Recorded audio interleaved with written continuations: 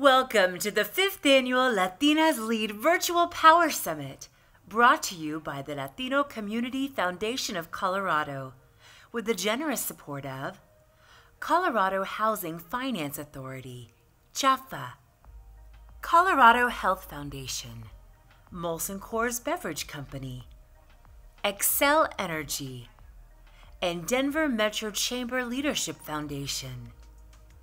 The Latinas Lead Power Summit is an annual gathering where Latinas of all ages experience a learning environment through storytelling that is designed to shape their personal and professional development. Latinas Lead exists to strengthen the leadership development of Latinas through storytelling so they can drive social change. The Latino Community Foundation of Colorado pursues civic, economic, and cultural opportunities that drive a more authentic narrative about Latinos in the state and cement a healthy and vibrant future where all Latino Coloradans will prosper. To learn more about the work of the Latino Community Foundation, follow us on the following social media platforms. During this morning's program, we encourage you to engage with one another and our program speakers using the live chat feature. Today's summit will feature opening presentation Finding Your Path featuring Kali Fajardo Anstine. Author Kali Fajardo Anstine of Sabrina and Corina, a fierce and essential collection of short stories about Latinas and Indigenous American women, set against the remarkable backdrop of Denver and Southern Colorado co hosts and journalists Kristen Aguirre and Lori Lizarraga. Featured speaker Christina Garcia, founder of She Grows, We Grow. Featured speaker Veronica Torres Hazley, founder of Hey Chica Lifestyle Movement. Illustrator Brian Montes Terrazas, joined by his mother, business owner Lourdes Terrazas, for a one of a kind visual power rendering. We'll hear from the 2021 Latinas Lead Influencer Awardee, Colorado Senadora, the Honorable Julie Gonzales, District 34. Climate Justice Warrior, Sonrisa Lucero. Our Inspiracion segment will feature local poet and performing artist from Roaring Forks, Colorado, Bianca Lisbeth Godina. Amplifying the voices of Generation Z, we will hear their diverse perspectives around the issues that matter most to them through their own curated creative video shorts. Our program will close with Canciones y Conversaciones de Poder, a musical journey of self discovery and resilience by singer, songstress, and voiceover artist Stephanie Pena. To begin our program, LCFC is proud to welcome author of the widely acclaimed Sabrina and Corina for the opening presentation, Finding Your Path, Kali Fajardo Anstine.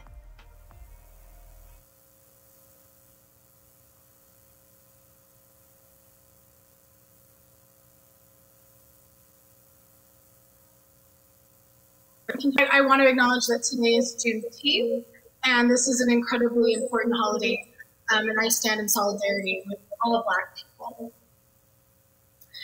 Today, I would like to talk to you about resiliency and about taking shelter in our goals and preserving in the face of great adversity. Because I think now more than ever, what we need to do enough to follow our dreams is to trust in our imaginations, our own intuition, and an understanding that our lives as Latinas are part of something far greater than ourselves. I published a book called Sabrina and Corina, which many of you may have read. But it wasn't long ago that I was dreaming of becoming a published author. In the late summer of 2017, on my way to the house in Mexico, that Sapphire Mountain Range that's many of my master's home. Nearly a pudding ounce of my being, my passion, I find two books, a short collection called Sabrina and Corina, and a novel called Woman of Light. I received a phone call that changed my life. But like many memorable turning points in one's life, this phone call came as I walked into a dirty public restroom. Hi, it's Julia, my litter agent said in her bright, endearing tone over the phone. Random House, she said, is making an offer. What? I said in disbelief. I stood in a dimly lit gas station bathroom after having waited in line for 10 minutes. And when you have been driving arid mountain roads, guzzling coffee and drinking water, you cannot, I repeat, you cannot lose your place in the queue. Am I getting a book deal? I asked. For the novel? At this point in my life, I had abandoned all hope that my short story collection, Sabrina and Corina, would ever see publication. We don't have details just yet, Julia said, but an offer is confirmed. It needs to be routed through. And at this point, I really did have to hang up and go to the bathroom because someone, gentle yet firm, was pounding on the door. Before getting off the phone that evening, Julie told me that she would email me first thing as soon as the offer hit. It was midnight when the email finally came through. I was readying myself for bed in some Hampton Inn when I looked down at my iPhone and I burst into tears.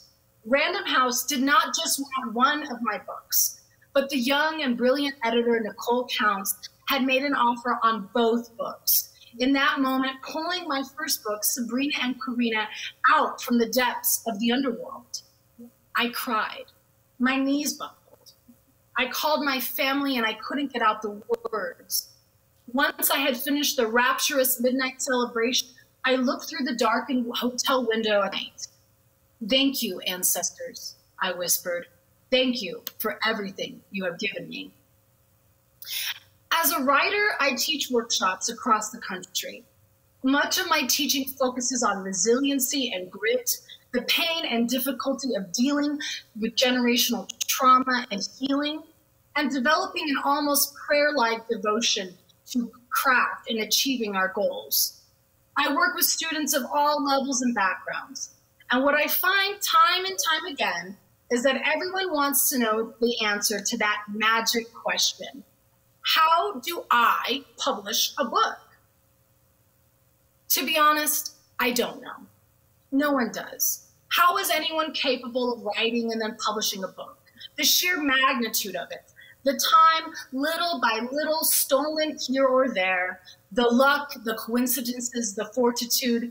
So while I don't know much about the invisible hand of fate, that all consuming driving force, that cousin of time, I do know a thing or two about not giving up on your dreams. And believe me, there were many times that I wanted to put down the pen forever, that I begged for a less, how do I put this, tortured, artistic existence. Sometimes while I'm giving readings, an audience member will ask, What has changed since you become a published author? I've played around with a few answers. The surreal pride in seeing my books on shelves now across the world, translated into Japanese, German, Italian, and very soon Spanish and Turkish. Or the fairy tale of bringing my own mother to New York City for the first time to walk the red carpet with me for the National Book Awards in 2019. But in all truthfulness, what has most changed is my newfound reverence for the young Latina I once was and her ability to dream big. Many of you have probably seen the Instagram post that often makes the rounds. Be who you needed when you were younger, a quote attributed to the writer Ayesha Siddiqi.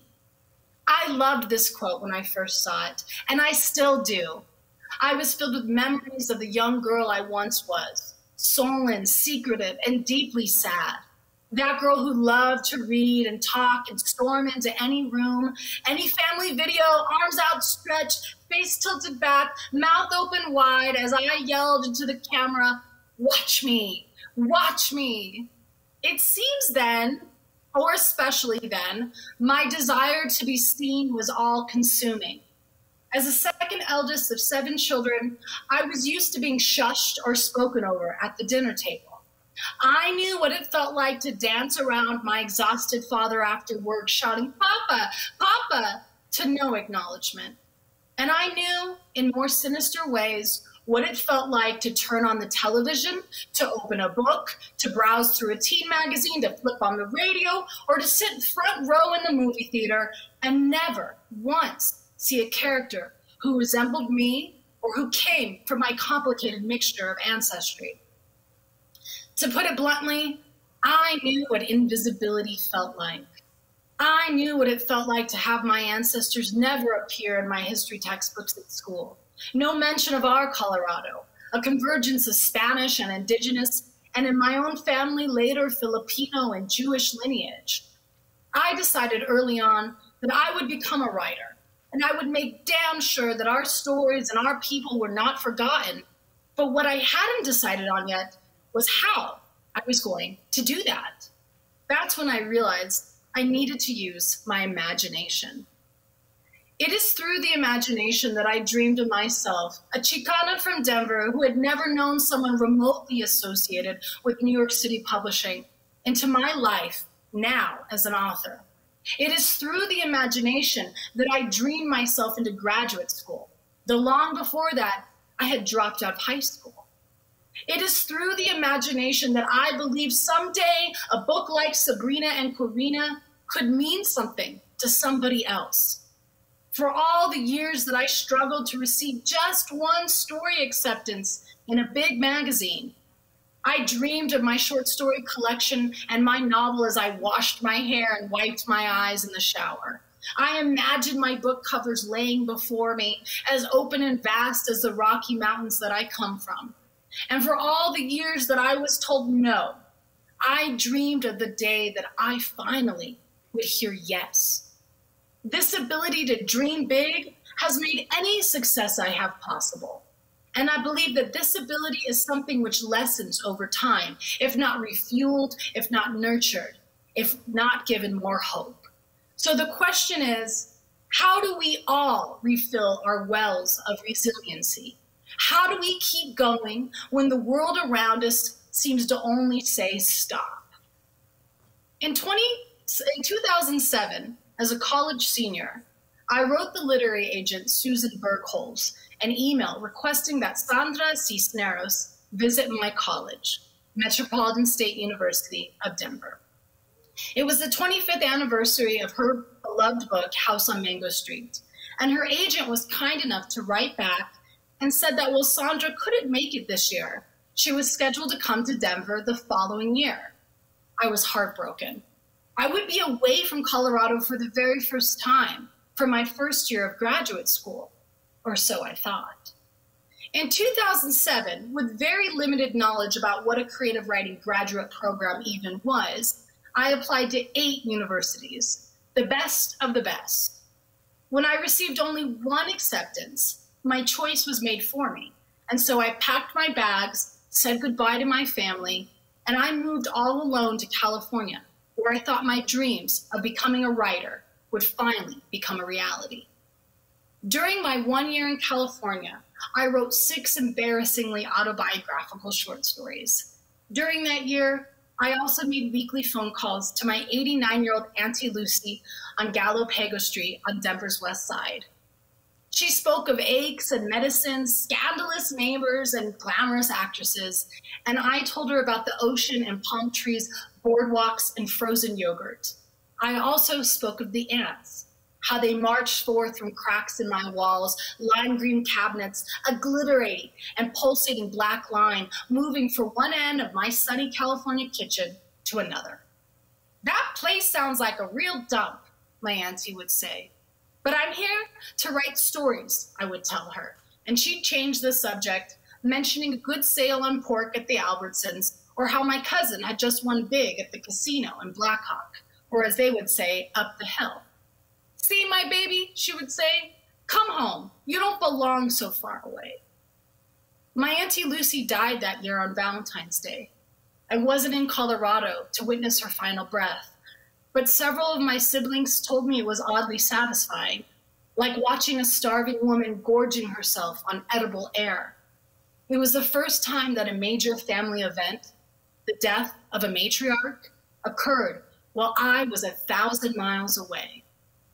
I began to fantasize about dropping out of my MFA program, but I had already dropped out of high school, and the thought of being rejected from nearly every major university yet again filled me with a sadness so great that I felt at times like I was drowning.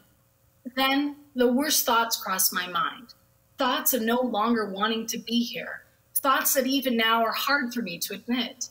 Seeking healing, I went home to Colorado and I visited my family. Now, some might call what happened next a form of divine intervention, but I like to think of it as the universe flexing her imagination. During my trip home to Denver, I was shocked to discover that my idol, the woman whose work had changed my life, Sandra Cisneros herself, was to read on my college campus. I went to the event with my grandfather, who adores Sandra's work. We sat in the middle of the auditorium, the energy in that great hall, one of absolute devotion. I can't remember all that was said, but at a certain point, I was frozen with the feeling of being understood. In front of everyone, the whole crowd, Sandra Cisneros told us that there were times when she was so depressed that she had considered suicide. But about two weeks later, she received life altering news. She had been awarded her second National Endowment for the Arts grant and learned that House on Mango Street would be reissued by Penguin Random House, essentially launching the book toward its firm position in American history. I can't believe what I was hearing from this brilliant light whose work had illuminated countless hearts, who had given me and so many other Latinas like me the belief that we could be writers, that we could achieve our goals. Now, I, as they say, the rest is history. I became a dropout for the second time, but I came back home and I finished out the year and I moved back to Denver. And I committed myself to reapplying to graduate programs. It was lesson one in my path to resiliency as an artist and as a Chicana. It was the first time that I realized this too shall pass. But it also showed me I was not alone in my hardship. Those whom I idolized and admired had also experienced great struggles. And through the camaraderie of their stories, I felt the possibility for achievement. I felt that I could go on. You are your best thing, a dear friend once told me, quoting a line from Toni Morrison's Beloved. I share these stories with you all today because maybe you have considered giving up on your dreams. Maybe you have received more than your fair share of rejection from jobs, colleges, lovers, or friends. Maybe your own life is keeping you from your passion and goals. To that I say, please do not give up. We need you and your unique gifts. There was someone like me, someone like you, trying for years and years, coming from behind, needing the guidance of the light and putting into the world. I do not know when your next lucky break will come, but I do know there can be pleasure in the path, no matter how jagged it may seem. Thank you very much for having me.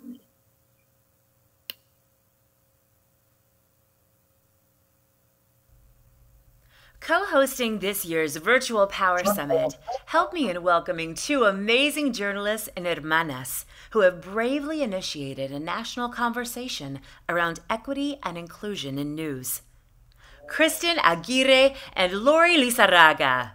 Uh, well, it's, everything's virtual this year, so you know, please bear with us as we go through the kinks a little bit. So, what we're talking about is how amazing yeah.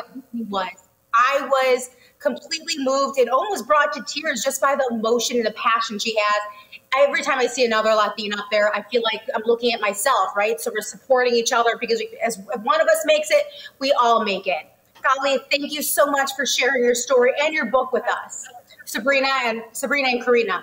Lori, I'm so excited to be here and of course be standing next to you virtually and to be part of the summit again. So a few years ago, I actually had the great pleasure of being here to introduce our friend and the missing piece of our Trinity, Sonia Gutierrez, who shared her personal story and journey at the summit that year. It was so beautiful and power. And I just remember the energy that was in that space with over 200 Latinas from across Colorado. I'm surprised I was even able to hear anything because we're talking so much.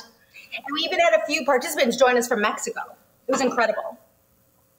That is incredible. And Sonia was posting about this event too for us this time around. I love the mm-hmm. way the three of us always support each other. And I love how much we've all gotten to be involved in this incredible event now for the fifth year in a row. This has been going on, mm-hmm. and I love that. You know, we had to be virtual. The Colorado Community Foundation did not let virtual COVID anything get in the way this incredible event. And I've seen today's lineup, Kristen, and even though we're coming to you virtually this year, I promise everyone watching with us this morning, today's program will be just as dynamic and inspiring as all the other previous summits. We can already see that. Girl, I totally agree with you. So, where do we start? As Lori mentioned, today's program will be dynamic and amazing. It's filled with courageous and fearless Latinas. And can I get a drum roll, please? There we go. Thank you. For the first time ever, we even have a gifted and talented Latino. That's right. We let one man in here, ladies, just one. And he's going to be creating a one of a kind illustration inspired by you, our community of Latinas. So, of course, we let a man in here to help us, but only one.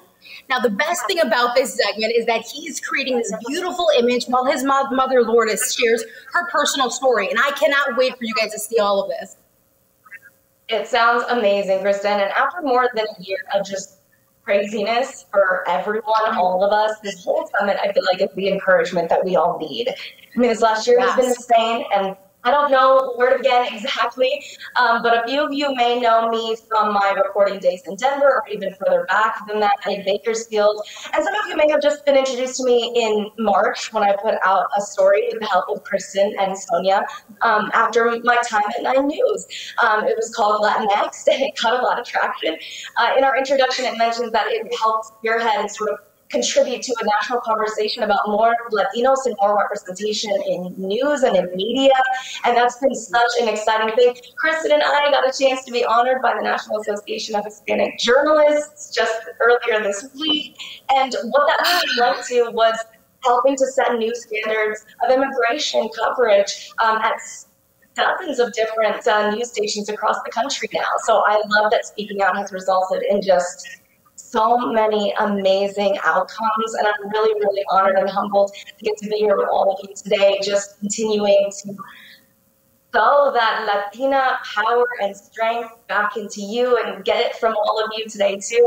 I'm, I'm so excited to be here with all of you. And what I learned from this piece especially is how much stronger we are when we stand oh. together. Right, Kristen? We've said that so many mm-hmm. times. I mean, for Kristen, I mean, look at her. You're such an inspiration.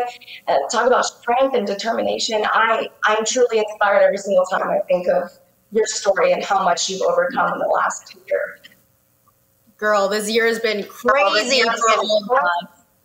And I do feel stronger standing next to you and our girl Sonia. Um, so, for those of you who don't know you, again, you might remember me from my Denver days reporting and anchoring for Nine News. Well, during my time there, I actually had an ischemic stroke. Now, I know what you're thinking. How does someone so young and dynamic have a stroke? But, girl, it can happen. It happened to me. I had an ischemic stroke and it left the entire left side of my body completely paralyzed. So these past two years have been wild. And mainly because I've been recovering from that, right? I had to learn how to use my entire left side of my body and um, really had to learn from scratch how to feed myself, how to tie my shoes, which is still a little bit of an issue.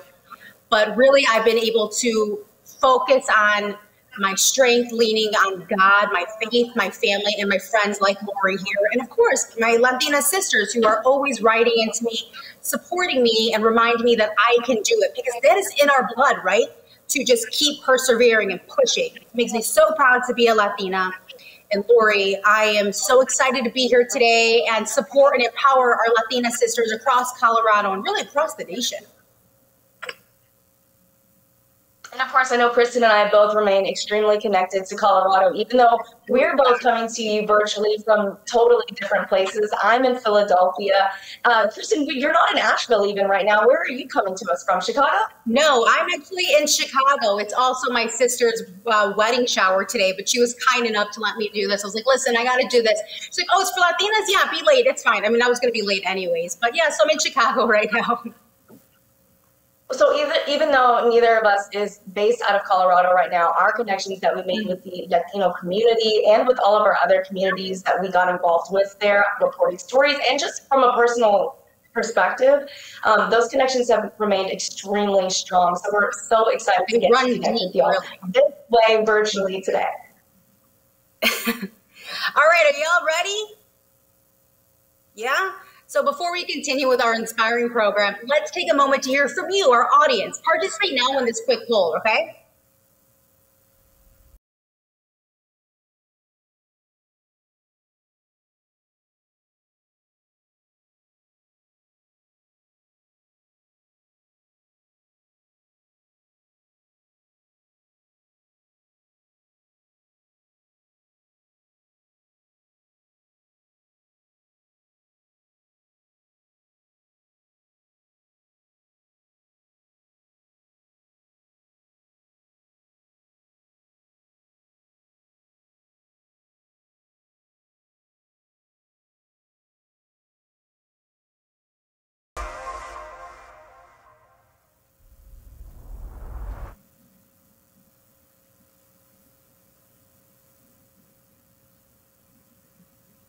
Well, I know that I find my strength to be a Latina leader from my community, be it my family or any number of you.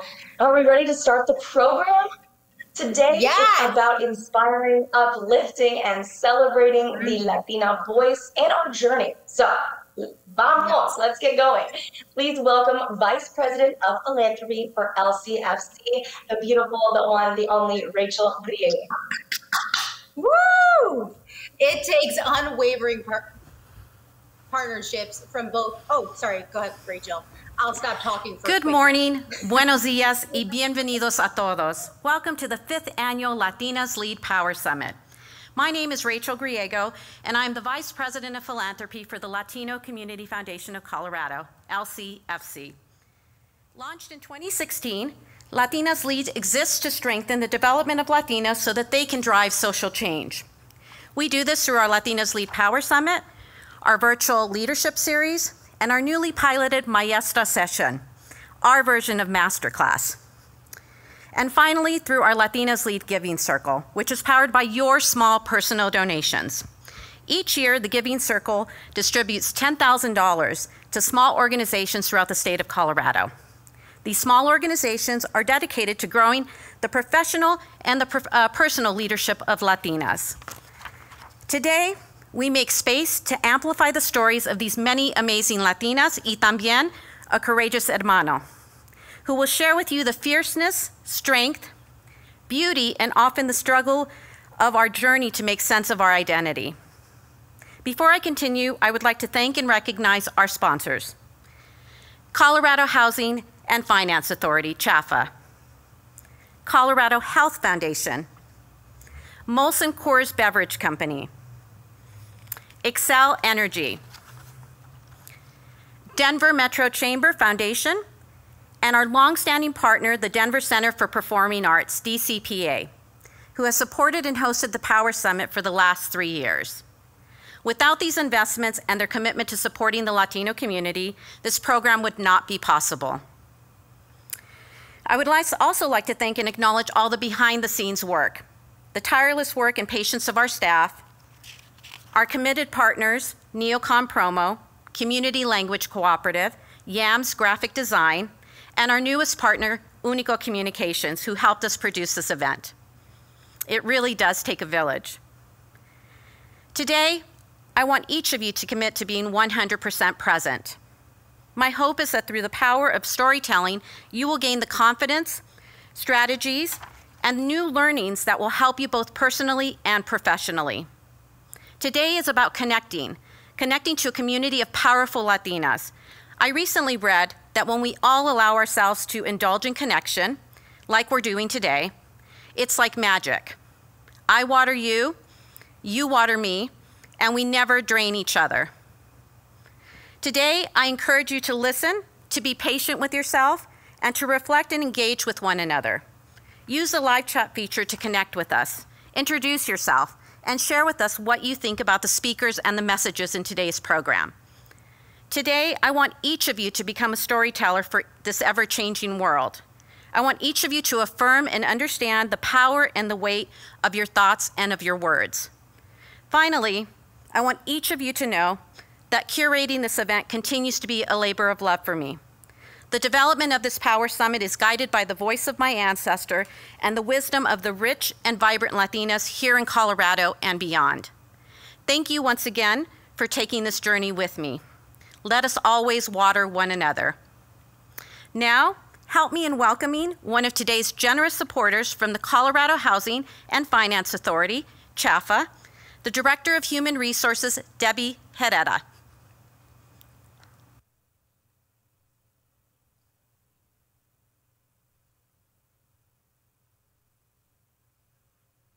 Thank you, Rachel. Hi, everyone. It is such a pleasure to be here on CHFA's behalf. At CHFA, our mission is to strengthen Colorado by investing in affordable housing and community development. In 2020, the pandemic only made the need for affordable housing and assistance for local businesses even greater. On top of that, communities of color were impacted more significantly. CHFA's commitment to diversity, inclusion, and equity had long been established, and we were already working on ways in which we can better serve communities of color. This included offering more of our homeownership resources in Spanish, including a new website, website called Mi Hogar that helps guide prospective homeowners through the journey of homeownership. CHFA's efforts have helped reach more Latinos, making homeownership possible. And in fact, 37% of CHFA's homeownership customers are Latino. In addition, CHFA offers, offers business finance programs for business owners and in 2020, 32% of CHFA's business customers were women owned, 20% were minority owned, and 4% were women minority owned. As you can see, our organization's missions are well aligned, and we've been so honored to be community partners and support your work. Most recently, CHFA contributed $1 million to support IOTA Colorado and the Communities of Color Loan Fund, which strengthens Latinos, immigrant, and refugee nonprofits following the impact of COVID 19. This is just one example of the many amazing opportunities you provide to create opportunities for Latino leaders and those they serve in Colorado. Speaking of leaders, I would love to acknowledge Carlos Martinez. Your ability to build community and lift other people up is awe inspiring, and I thank you for your leadership example. And of course, I would love to also to acknowledge Kali Fajardo-Anstine, author of Sabrina and Corina. It is a pleasure to be here with you today as CHFA is also reading your book in the fall as part of our book club. Lastly, I offer a few thoughts on how we show up as leaders. I encourage all of you to use your voice and influence for the greater good. It takes courage and perseverance to truly be authentic in how we show up in this work. And sometimes that means embracing uncomfortable experiences. But I think we can all acknowledge and remember that change never happens when we are comfortable. And so, on behalf of CHFA, thank you so much for this opportunity. And I celebrate all of you in your leadership journey. Now, representing our longtime Power Summit partner, Denver Center for Performing Arts, please welcome their Executive Director of Education and Community Engagement, Allison Watrous. Good morning, everyone. Thank you so much for being here. It is my pleasure to welcome everyone to the Latinas Lead Power Summit from the stage at the Seawell Ballroom at the Denver Center for the Performing Arts. My name is Allison Watrous. I'm the Executive Director of Education and Community Engagement here at the Denver Center. And we have absolutely been honored to partner with LCFC for over three years, working together to bolster and build community and connection through hosting community events, several nights at the theater, impactful conversations, scholarships, tickets, and sharing the stories of both organizations. Community is truly at the heart of LCFC, and obviously, community has been such an important journey for all of us this year, and I'm so grateful to partner with LCFC and their incredible mission. Thank you for your leadership and for truly embodying what it means to authentically build a sense of belonging and connection. Your partnership really means the world to us here at the DCPA. We are thrilled to partner on the Latinas Lead Power Summit for, the th for three years to celebrate, empower, and ensure Latina leadership in Colorado, Denver, and beyond. Thank you so much, and just so grateful to be a part of this mission. Have a wonderful summit. So it takes unwavering partnerships from both the nonprofit and the private sector to ensure that programs like today's Power Summit are available for the community and provide a lasting impact. Thank you all for all your support and this hard work. Our next speaker created She Grows, We Grow, a global community of women of color who embrace and affirm their individual voice and power. Welcome, tra Trailblazer and founder Christina Garcia. Hello, everyone. My name is Cristina Garcia, and I'm an educator, mentor, and the founder of She Grows, We Grow. I'm super excited to be here today. It's my honor and my pleasure to come to you straight from uh, Los Angeles, California. I first and foremost want to give my deep gratitude to the Latino Community Foundation of Colorado for this amazing Power Summit event that brings together these amazing trailblazers from all walks of life. It's an honor truly to be here. I want to start today by telling you a little bit about my story um, because I think it's important that I, number one, tell you who I am, where I come from, uh, what makes you, what makes me who I am, and who are my people right? Uh, who and what has made it possible for me to be here today? Um, and then I also want to share a little bit about my work, right? How I, how She Grows, We Grow came to be, what it means to me, the philosophy behind it. And last, I want to leave you with a message that I hope you will take with you um, into your work, into your schools, into your disruption spaces throughout your life. So first of all, I love to introduce myself in every speaking engagement, every presentation I do, any space I have access to as the daughter of immigrants. For me, it's so important to bring my entire family to the table with me.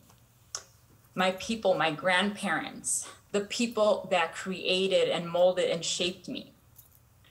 It's important to bring them to the table with me today because they didn't have the opportunities I've had, because they were struggling and working toward me being able to be here today. And so, not only am I the descendant of immigrants, I'm also the descendant of people who were here four, if not five generations ago. And by here, I mean the North American continent, where my grandparents, who were both bracero workers,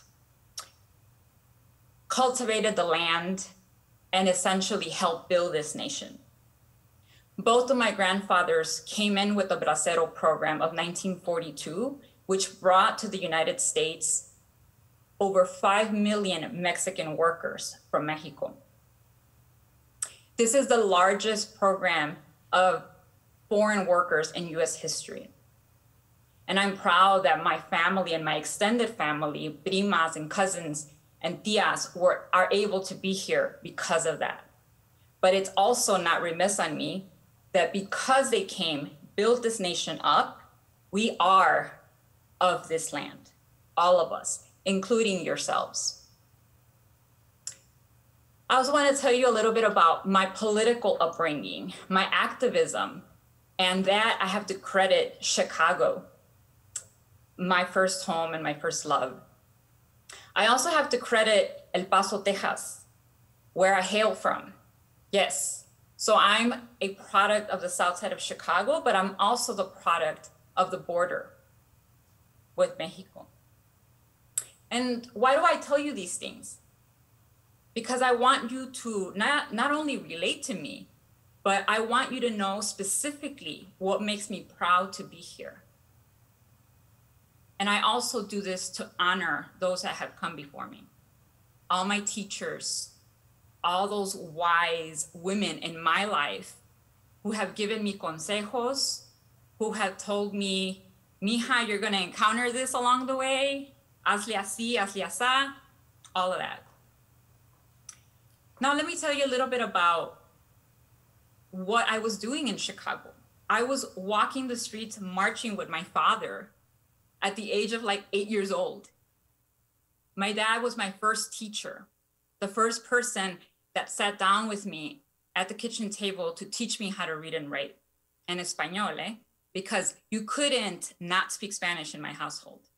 You had to embrace both your cultures, specifically your mother culture of where you come from. So I'm super proud of that today. And I think this is an excellent segue into my work and tell you a little bit about what, what I do with my She Grows, We Grow community. She Grows, We Grow came, was born out of a deep desire to be able to radicalize the way that we think about self, to be able to do deep exploration of ourselves, to be able to go inside and unpack all that our identities bring to the table. And by unpack, I really mean looking internally at ourselves, doing the critical questions, asking the critical questions of who am I?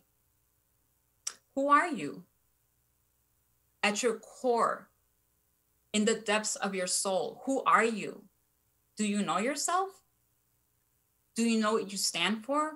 What you're about? Do you know your value system? What's important to you? Who are your people? I ask these thought provoking questions in all the spaces that I'm allowed into or that I just disrupt and get into myself. Um, I really wanted women, but specifically Black, Indigenous, and women of color, to do the deep exploration work as a way toward liberation, as a way to reclaim all that rightfully belongs to us, as a way to assert ourselves in a world and a society that continuously tells us that we don't belong. I do this work, this, this spirit born work, because I've gone through all of these challenges myself. I've been that young Latina brown girl in a room full of whiteness that I felt I didn't belong in. I've gone through academia, yes. I was lucky enough to go through, privileged enough to be able to have access to higher education, yes. But it wasn't full of conflict, some trauma, right? And a lot of othering, right? A lot of othering, not just of my own person, but of my parents and my peers and my neighbors and my comunidad. When you other them, you other me.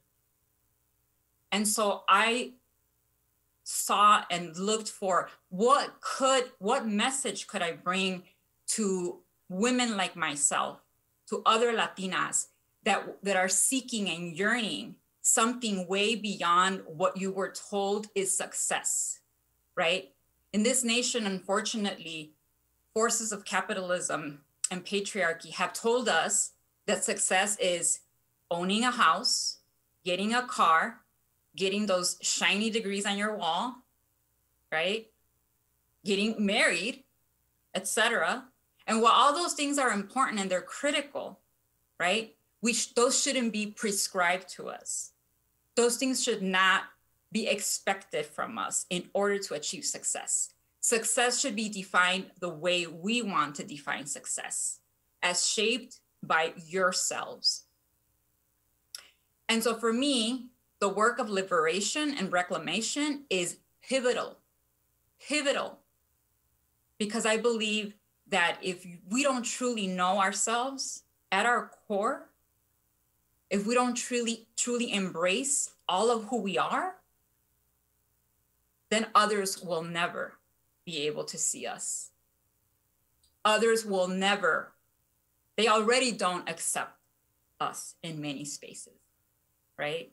But when we walk sure of who we are in our element, in our essence, and our power, and use our voice to claim that space, guess what? There's nothing in the world that will other you. There's nothing in the world that will tell you who you are because you are telling them who you are. And that's key. We have so many harmful narratives so many stereotypes, so many stories about who we are. For me, it's important that we make a claim to who we want to be as defined by ourselves, not as defined by others.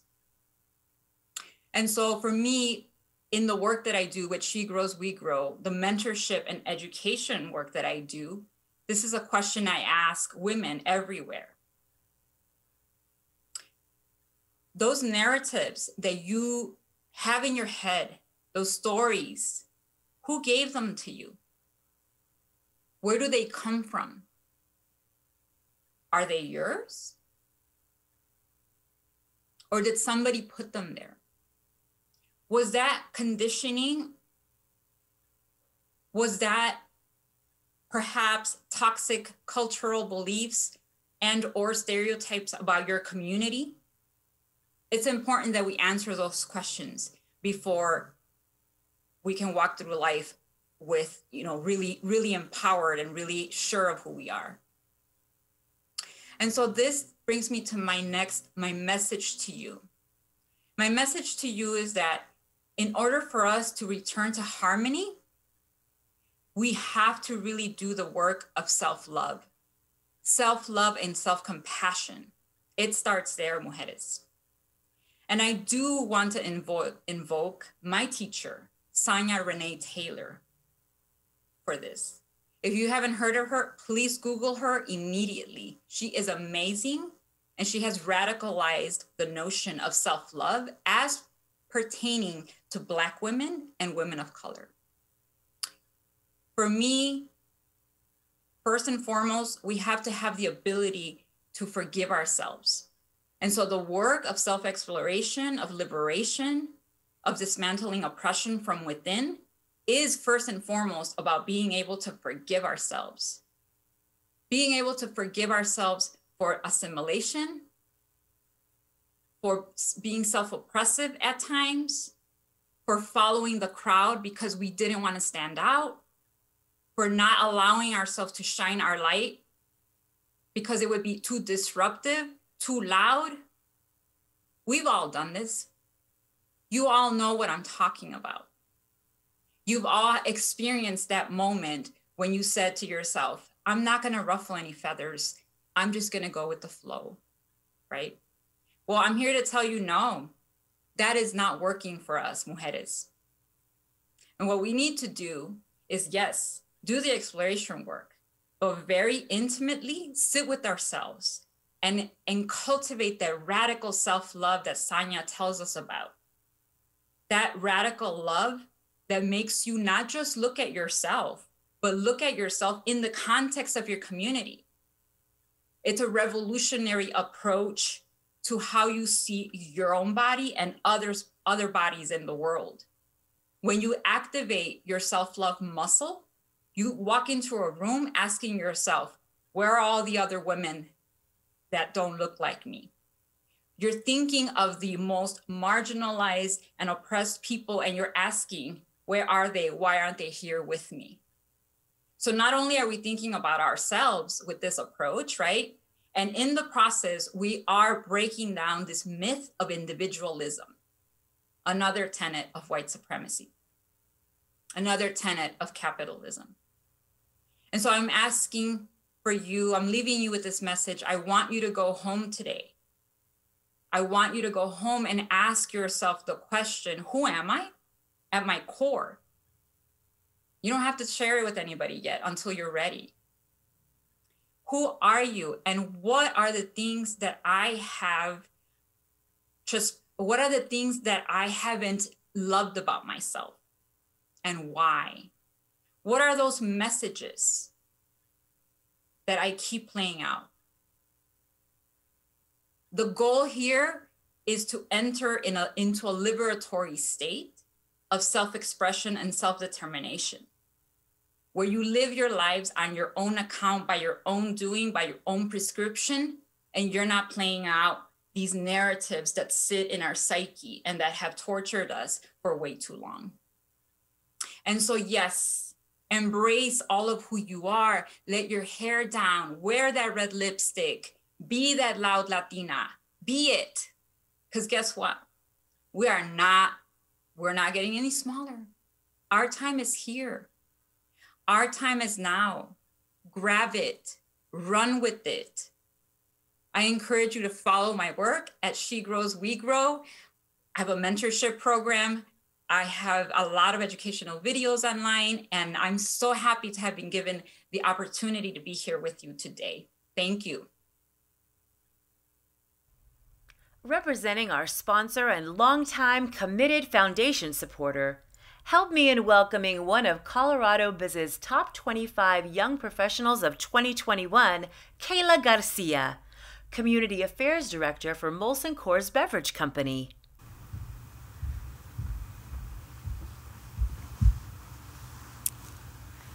Hi, I'm Kayla Garcia with Molson Coors Beverage Company. For nearly 150 years, we've been brewing our beers right here in Colorado. And we will continue to brew and invest in our communities for years to come, as Colorado is a cornerstone to our history and our heritage. At Molson Coors, we invest nearly $1 million annually in Latino communities across the U.S. to drive social change and ensure our voices are heard.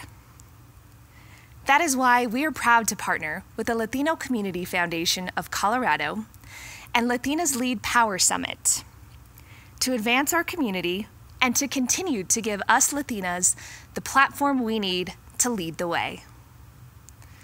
From growing up in my hometown of Pueblo, Colorado, to being a first generation college student at Colorado State University, Fort Collins, I was always looking ahead to my big city dreams and goals. I never thought that one day this Latina would be a leader in my community. I knew I would be. Now, the confidence and determination that you hear in my voice today has not always been the case. In fact, it's a continuous professional and personal leadership development I'm constantly working towards. My network, my mentors, and inspirational and critical learning such as today is what keeps me motivated, what keeps allowing my voice to get stronger, and what keeps me dreaming those big, achievable dreams. On behalf of Molson Coors, we thank you for letting us be a part of your journey as you continue to lead us now and into the future. Our next speaker is the curating founder behind a network of hermanas that began in Dallas and is quickly gaining momentum around Texas. Their guiding philosophy is building a community with liberation, empowerment, and connection in mind and heart through the power of sisterhood. Let's learn a little more about Hey Chica.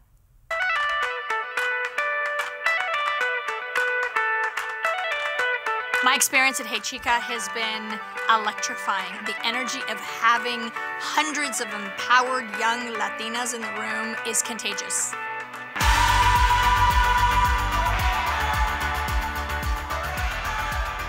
We're not here to compete with each other, we're here to help each other. This movement really helps me live my truth. What we do is we shine a light on women from all walks of life. The women who are about change, the women who are about making this world a better place, who are about living their dreams and activating their faith. That's the culture that I'm in, and that's where I want to be. There is a movement of Latinas here that is taking over the country. I can't say enough about joining hands with a bunch of powerful women. Together we can change the world.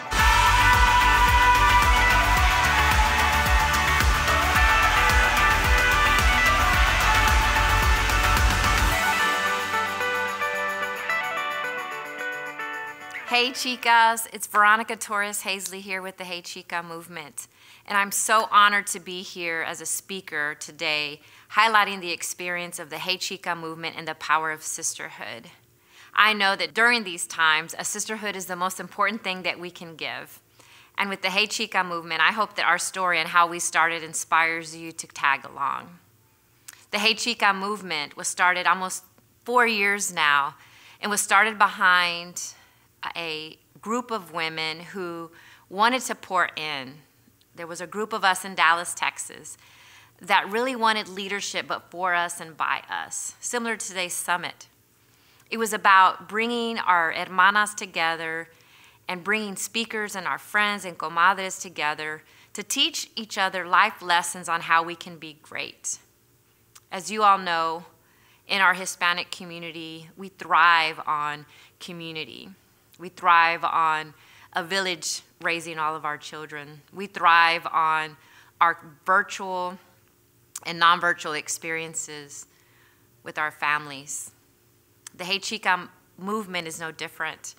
I was raised by entrepreneur grandparents that really taught me that giving back to my community, hard work, and family were the most important things in our life.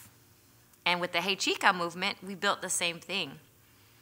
We decided that we were going to build our own leadership program, that we would invite our own culture into the boardroom, and we would honor it by inviting women who wanted to start a sisterhood and not hate on other women, not bring other women down. And it just turned into something that we call the movement. The movement now is spreading throughout the state of Texas and hopefully coming to Denver soon. But the movement is about women showing up, showing up for other women, whether it's in the corporate boardroom or in their neighborhood community gatherings, or maybe it's a single mom to another single mom. It's showing up and saying that I am going to see you I'm going to witness your life and I'm going to be there for it. But it's also pouring in, just like any other Hispanic family, the village that gives, right? My grandmother used to always send me to her friend down the street to go get the best tortillas or to go to the store next door and support and get some pan dulces. That's the way that Hey Chica is. It's going to the best bringing them home, and then sharing with the family. That's sort of the ethos behind Hey Chica. And Hey Chica, creatively speaking, the name itself was like, hey girl, I see you, let me put you in the game. It's no different from our talks that we have with our girlfriends or our family. It's just actually acknowledging each other and really taking the time to get to know each other so we can help you grow so we can put you in the game. So that in giving, we know that the return comes back to us and amplifies our life's purpose. So, today, for this next few minutes, I want to talk to you about your life's purpose and how your Hey Chica movement can be yours and whatever it is that you're doing. We know that now during these times it's very hard to connect with people, and this is just another modality on how to do that. And I'm hoping that we all stay connected and that we're all inspiring. They're all listening to the life experiences from all these amazing women that are going to influence you to take a bold step, to grow your family, or to climb up that career path that you've always wanted. That's the Hey Chica mantra, that's the movement. It gives me chills just thinking about the inspiration that comes naturally when you're doing good and when you're not hating on someone else or you're not bringing another hermana down, but you're actually lifting her up to inspire her, to push her past her limits, her fears. How do we do that? And how do we do it now during these post COVID times? Or how do we get that energy or that passion to get out of bed, not just inspire ourselves, but inspire a tribe of women? It starts with us, it starts in here. It starts with ganas, it starts with being a poderosa and speaking up and speaking your truth. It starts with finding your own tribe of chicas wherever you're at and inviting them to speak their authentic truth. I think that's where I get most of my love and most of my energy to get up in the next day and say, what else can we do? The Hey Chica movement is about gathering women for networkers like Tacos and Chill. It's about pouring into high school girls that we do call Hey Chiquita or the Chica Code, giving our young girls a pathway and a pipeline to grow into leadership. Where is that for us as Latinas? The Hey Chica movement brings that to life. It brings high school girls together to learn about self care, self love, self compassion, from our book club to our beauty and podcasting series. then to our mighty, mighty professional Latina that is still trying to figure out where she's going to navigate the next best thing. I was that girl. I worked for corporate America. I saw what was happening in the boardrooms, what was happening in politics outside our doors, and I knew that there was something else and there was something missing. There was something missing. And for me, it was that other Latina that was in the boardroom with me. That was not happening. So Hey Chica brings that to life. It actually pours in and develops a platform for us to put more Latinas on boards in executive positions, in leadership roles. Chica's in charge. That's what Hey Chica does for professional women. Hey Chica is also about our legacy. Our poderosas are women who have these rich, rich cultural truths that want to leave a legacy behind and share that from the recipes to the amazing food that we eat to the stories and her struggles that are going to go heard and not unheard. Our poderosa women are the women who have taken the fight to stand up for something. And as a Hey Chica, we say, We see you. Thank you for paving the way for us for developing this pipeline. So now that we have our high school girls, our professional women, and our legacy builders, a way to go. We're handing them the light to stand tall, stand, stand proud, to really be in our cultural truth without negotiating who we really are and our values, but showing up in the boardroom proud, strong, motivated. That's the Hey Chica.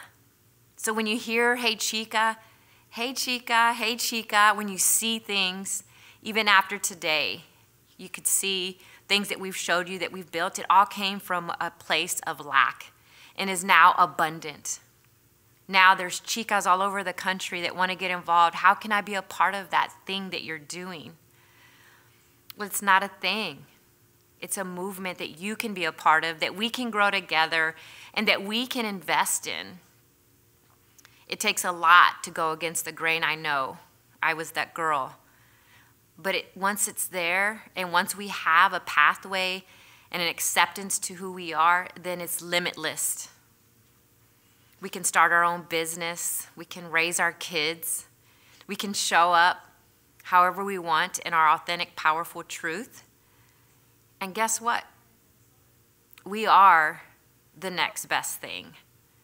We are the consumers buying. We are the number one small business that's thriving and growing, right? It's the chicas. We're making decisions. And for once in our life, we're making decisions for ourselves and for our hermana next to us. And we're all coming along as a tribe of one. I hope that this summit has brought so many different stories for you to learn from and for you to say, hey, I'm going to start my own story. And I invite you to do that. There's nothing more powerful than starting your own movement. And when you do, because I know you will, I hope that you have a chica right there next to you. And I hope that you create your own movement. Because opportunity is out there for all of us, and we'll see that more and more. But when preparation meets opportunity, that is powerful. So, hey, Chica, I invite you to start your own movement. Join the sisterhood, celebrate you, celebrate your life and your family with purpose. And don't be afraid when you see a chica in your workplace, in your community, perhaps in a boardroom, celebrate her. Give her the message. Tell her, hey, chica, I see you and stand tall and proud because we're coming.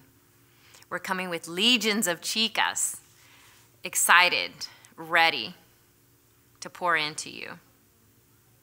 Thank you for listening. I hope to connect with you guys still in the chat. Stay engaged, and we're here to celebrate you, mujer. As always, viva la chica.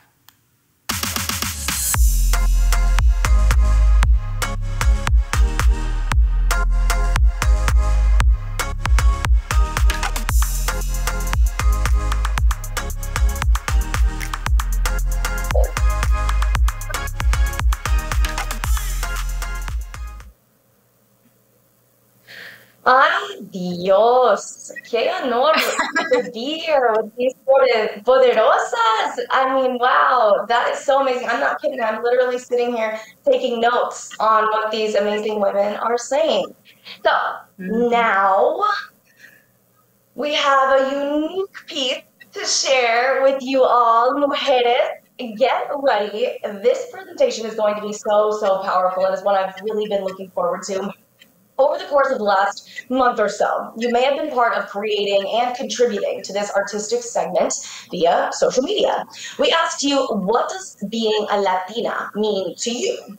What you do mm. know is that we gathered your responses and had ally illustrator and graphic artist Brian Montes create an original, one of a kind artistic piece that not only captures your intentions and responses to the question, but it also serves as the backdrop for his amazing mother, Lourdes Terrazas' personal story.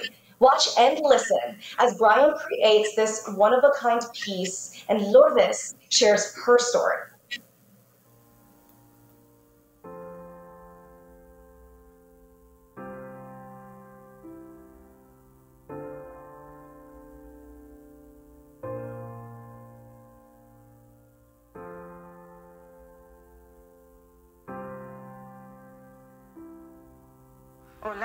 Uh, mi nombre es María Lourdes Terrazas. Uh, yo nací el 8 de junio de 1978 uh, y llegué a los Estados Unidos en el 2000 con mi hijo de dos años. Ser latina representa estar orgulloso de tus raíces y luchar en un país donde somos minoría entonces, yo estoy muy orgullosa de ser latina, pero eso conlleva luchar día a día por, tener igualdad, por que no queden atrás tus raíces, englobar todo sabiendo que eres latina y saliendo a trabajar todos los días para sobrevivir en un país diferente.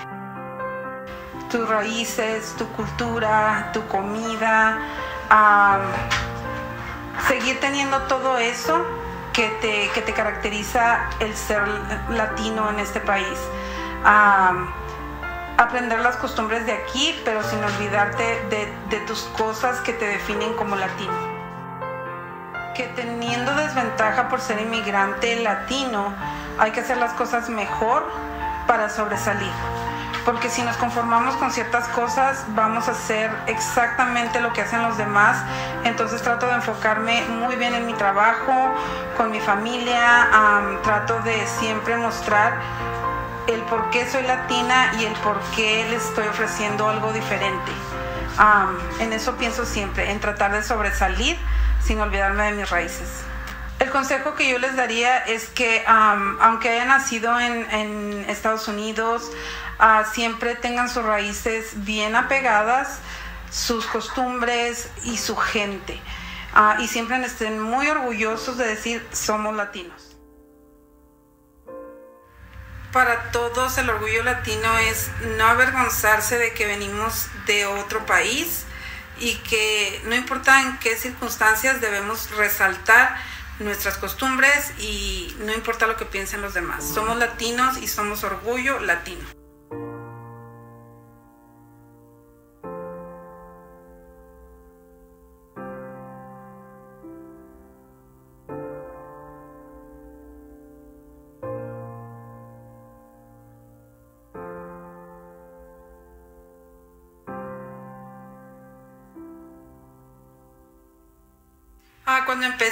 Bueno, yo siempre tenía una idea de no trabajar para nadie, pero era muy difícil y me sentía sola, pedí ayuda y pues nadie me ayudó, tuve que, tuve que hacer las cosas como yo pensaba que eran, tuve que aprender a hacerlas un poquito de otra manera para que pudiera tener éxito. Ah, poco a poco fue dando resultado con ayuda de una y que otra persona aquí y allá y después descubrí un mundo totalmente diferente que vi que trabajar para mí misma, el dinero era para mí, uh, todas las ganancias eran para mí, después tuve que contratar gente porque sola yo no podía hacer tanto trabajo y después encontré la manera de de sobresalir un poco y, y tener una vida mejor. Se siente, me siento muy orgullosa de que yo manejo mi tiempo, yo manejo mis ganancias y trato de dar el mejor servicio para todo el mundo.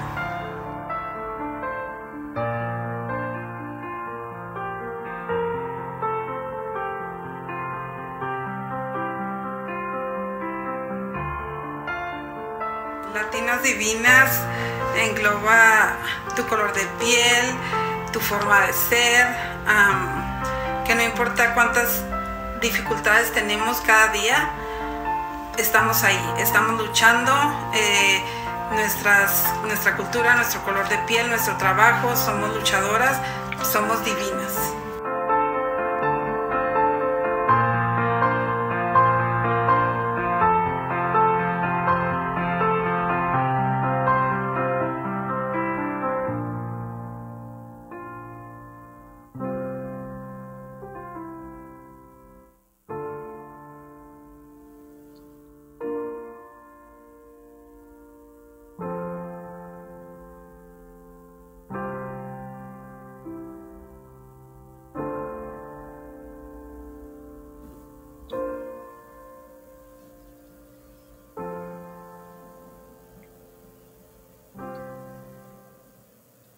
Wow.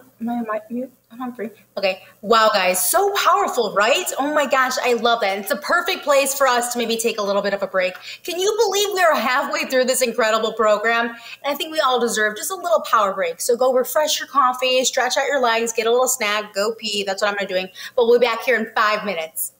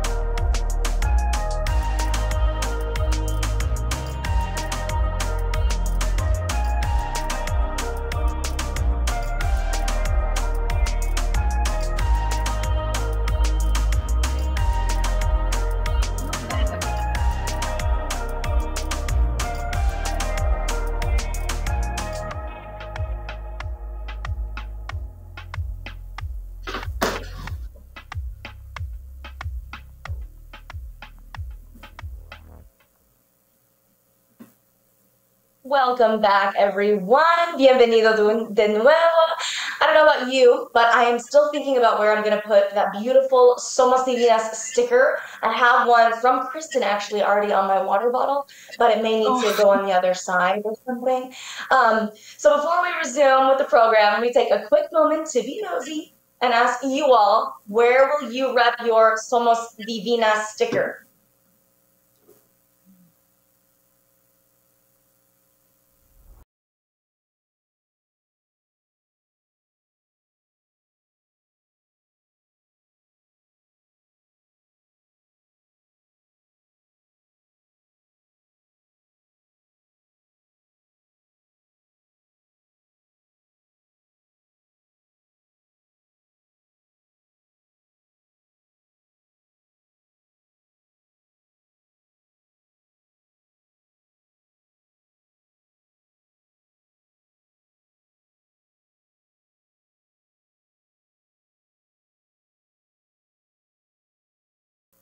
Love the music. well, welcome back, everyone. I I vote for needing one everywhere, and I was actually thinking, Lori, about the stickers I bought us, and I think it's going to fit perfectly right there. Lori and I have long been crazy Latinas, women supporters, so that sticker is going to be perfect there. Well, I also might need an extra one, right? To put on my Frida, my dog. Her name's Frida obsessed with her. And if you follow me on social media, you know her. So she's not with me. She's at the babysitter's house back in North Carolina. But look at that face, my little baby. So she needs one. She's a strong Latina too. She needs one on her water, on, on her, her water bowl. Water bowl, yes, exactly. Yeah. But we need to get one on the collar, specially made. She is a proud Latina. I can tell my baby knows she's Mexican. All right, well, let's get back into our program. So each year's Latinas Lead presents an accomplished Latina who exemplifies the value of this program. One who is strong willed, vibrant, and contributes her authentic voice, talent, and innovative spirit to leadership. One who gives back to the community and one who serves as a role model to others. Well, this year's awardee exemplifies all of these values and so many more. To help us introduce this year's honoree, it's my sincere pleasure to welcome a well accomplished and powerful Latina in her own right and a dear friend of mine, Denver City Councilwoman Jamie Torres. Yay!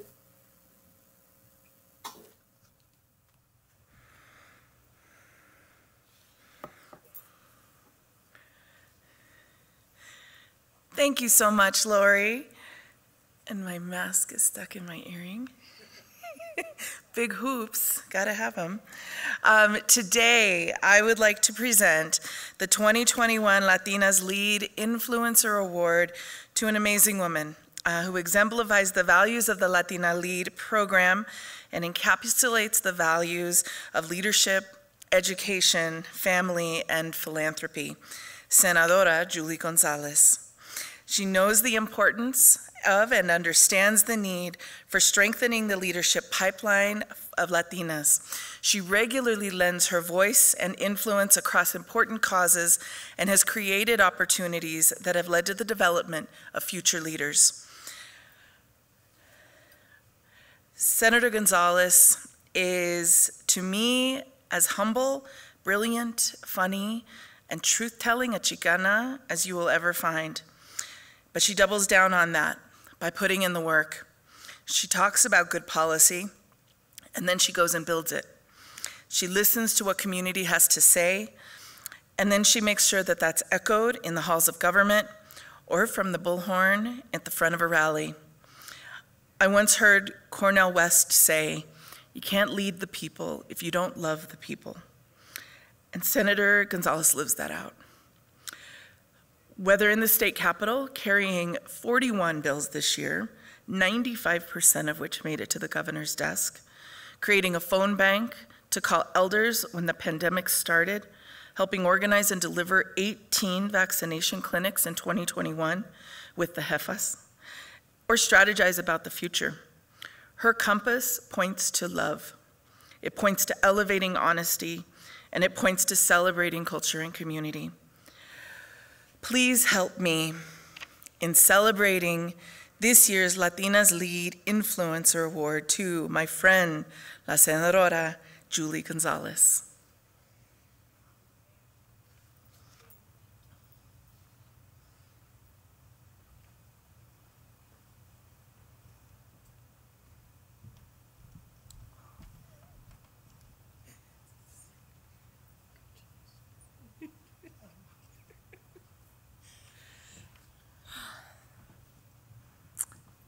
Hi, Jamie.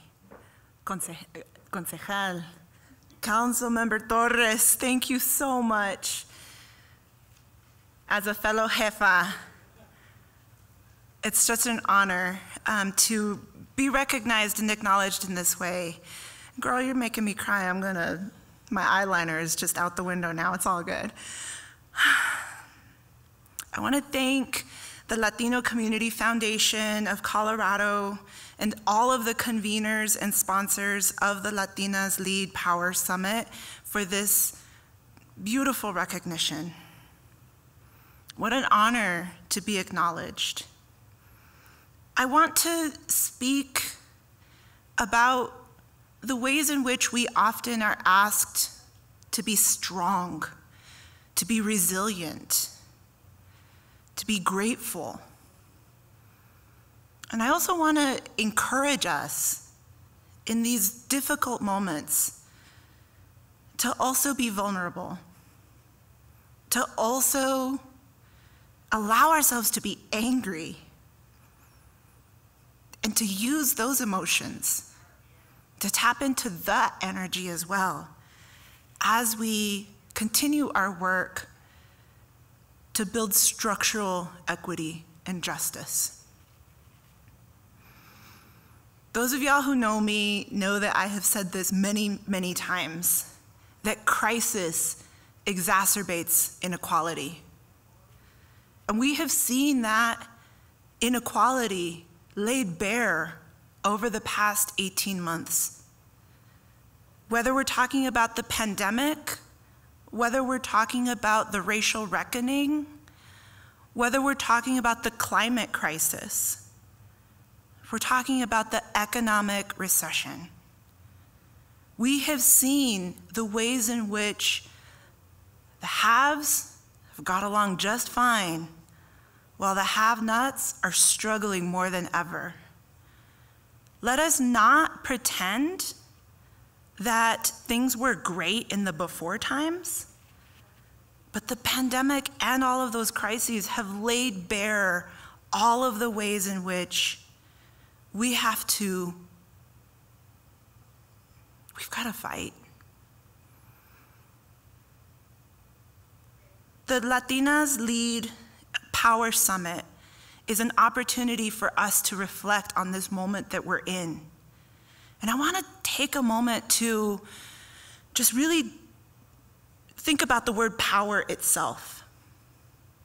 Power is the ability to act. When I was a little chicanita, I was told that if I got good grades, that if I got a college education, that I would be able to achieve the American dream. I actually got myself into Yale through the hard work of my mother and my father who struggled hard. My mom dropped out of high school, got her GED, became a teacher, taught me in second grade, and then sent her daughter to, to Yale.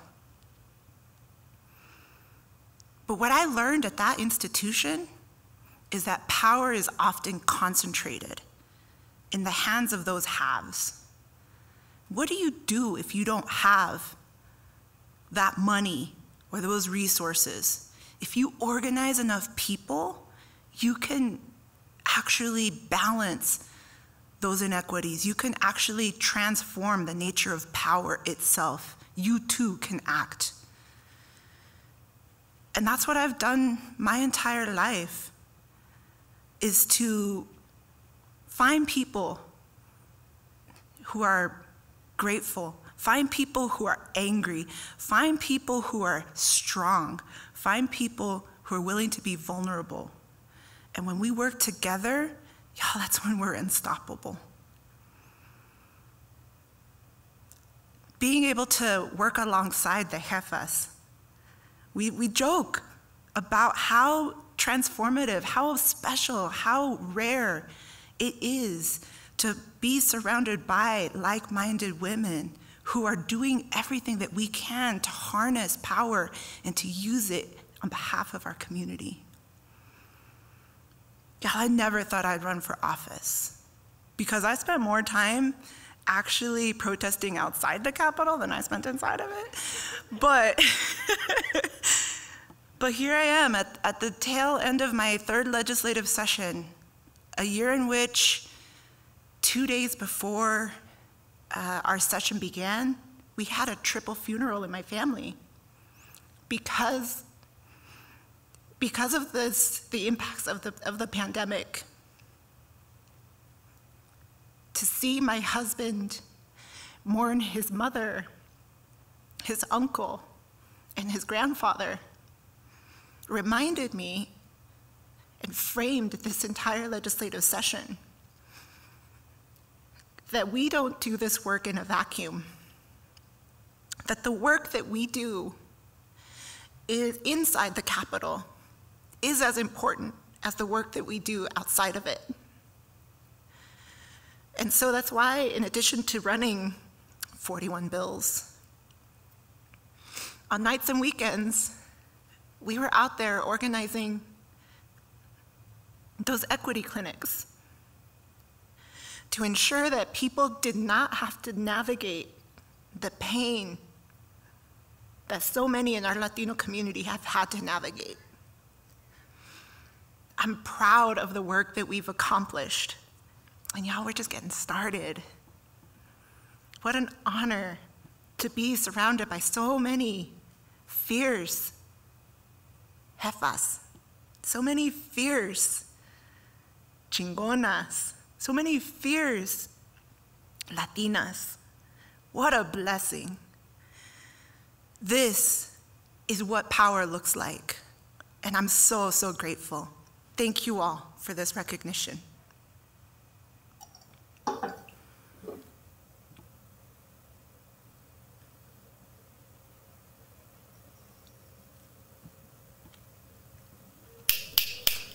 Mm. Julie, you are amazing and absolutely incredible. I know I looked up to you during my time in Denver and still do. You're so brave, fierce, and courageous with your leadership. I do want to take another quick moment to thank and recognize our, spot, our Power Spon- Summit sponsors, and they include the Colorado Housing and Finance Authority, CHFA, the Molson Coors Beverage Company, Xcel Energy, Denver Metro Chamber Leadership Foundation, and our partners, the Denver Center for Performing Arts, DCPA. We could not have brought you guys, these incredible women, to your screens right now without the help and support of our community sponsors. Speaking of incredible women, I mean, we just have so many. Our next speaker is a lifelong advocate and social justice pioneer. She's a climate change warrior. Incredible committed to amplifying the Latinx community's strong, deep relationship to the environment, which has been passed down through indigenous, African, and agrarian roots. She, she has strong querencia, or soul's longing to, for place. So help me welcome climate justice warrior, Sorisa Luciero.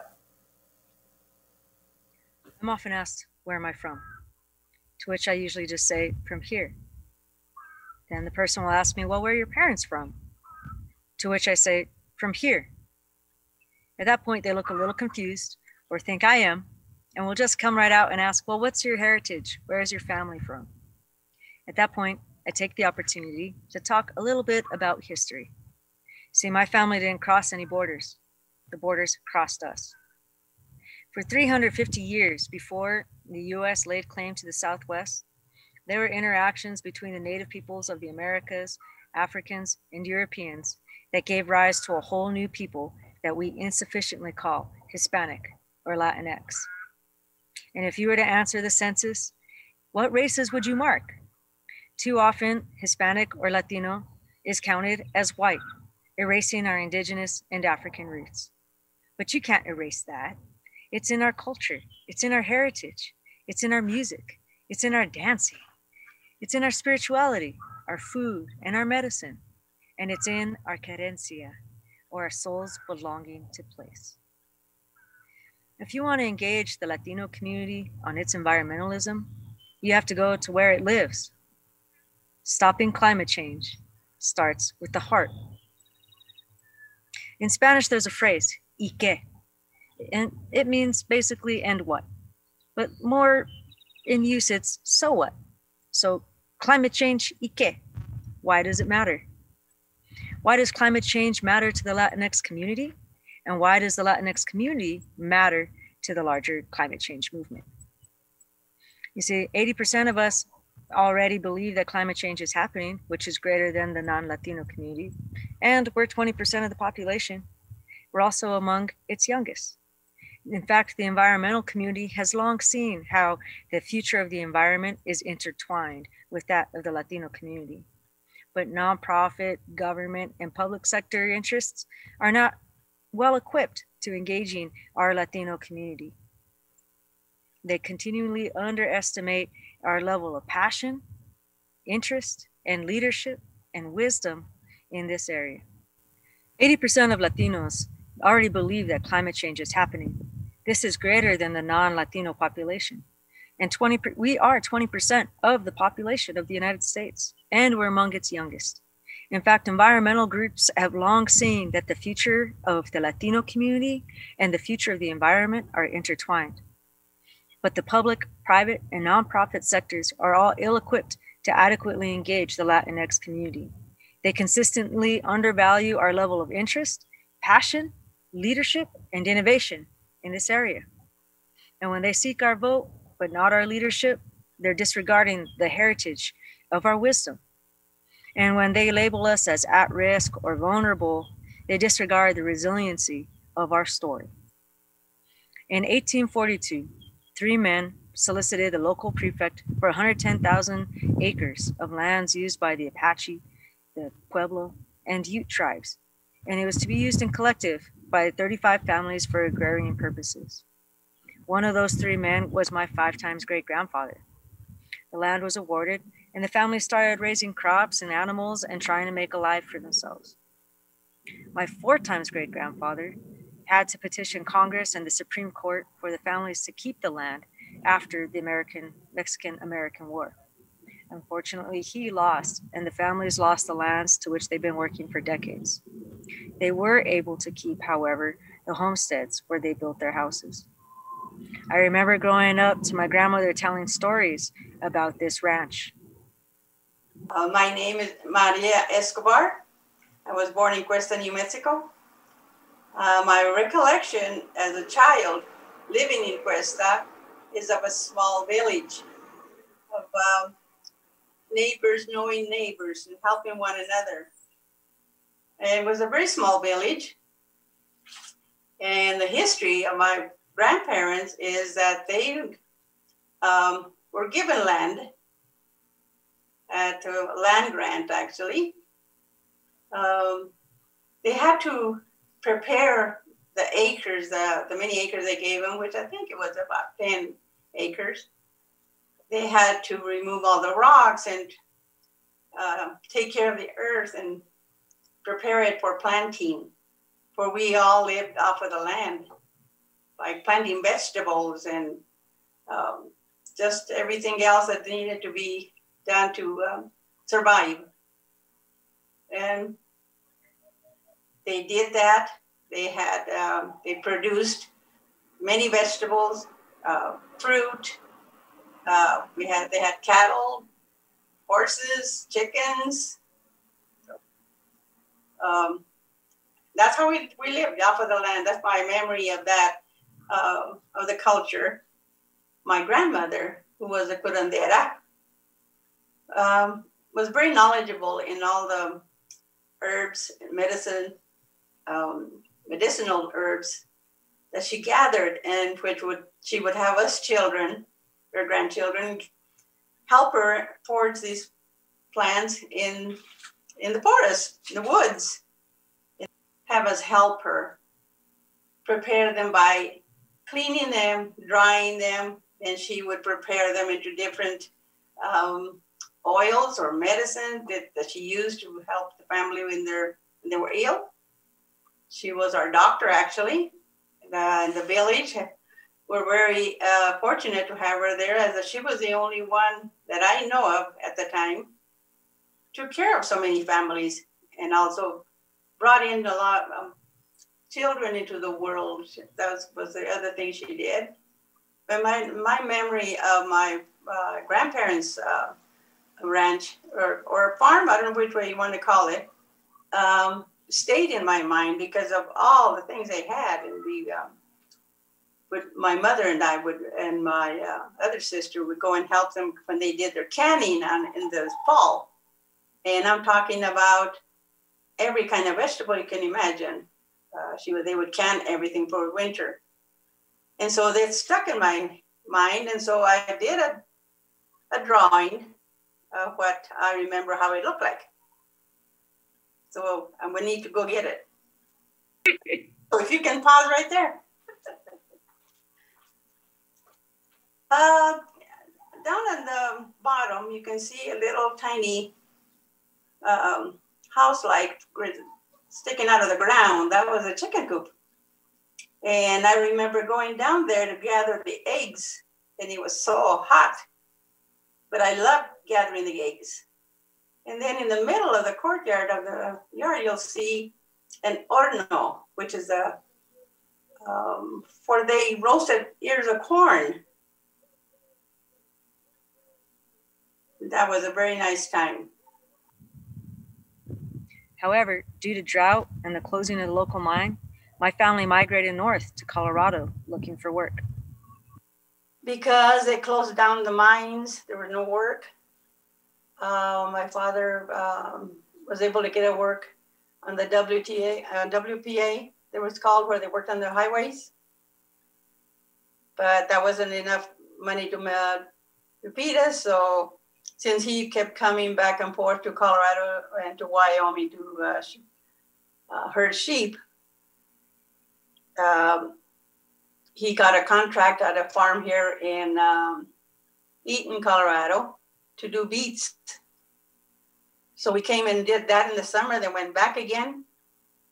But um, that it was too hard anymore, so we just came back and stayed and lived here the rest of our lives. Despite tracing her lineage back to 1708, my grandmother and her family were greeted by signs that said no dogs or Mexicans in Colorado.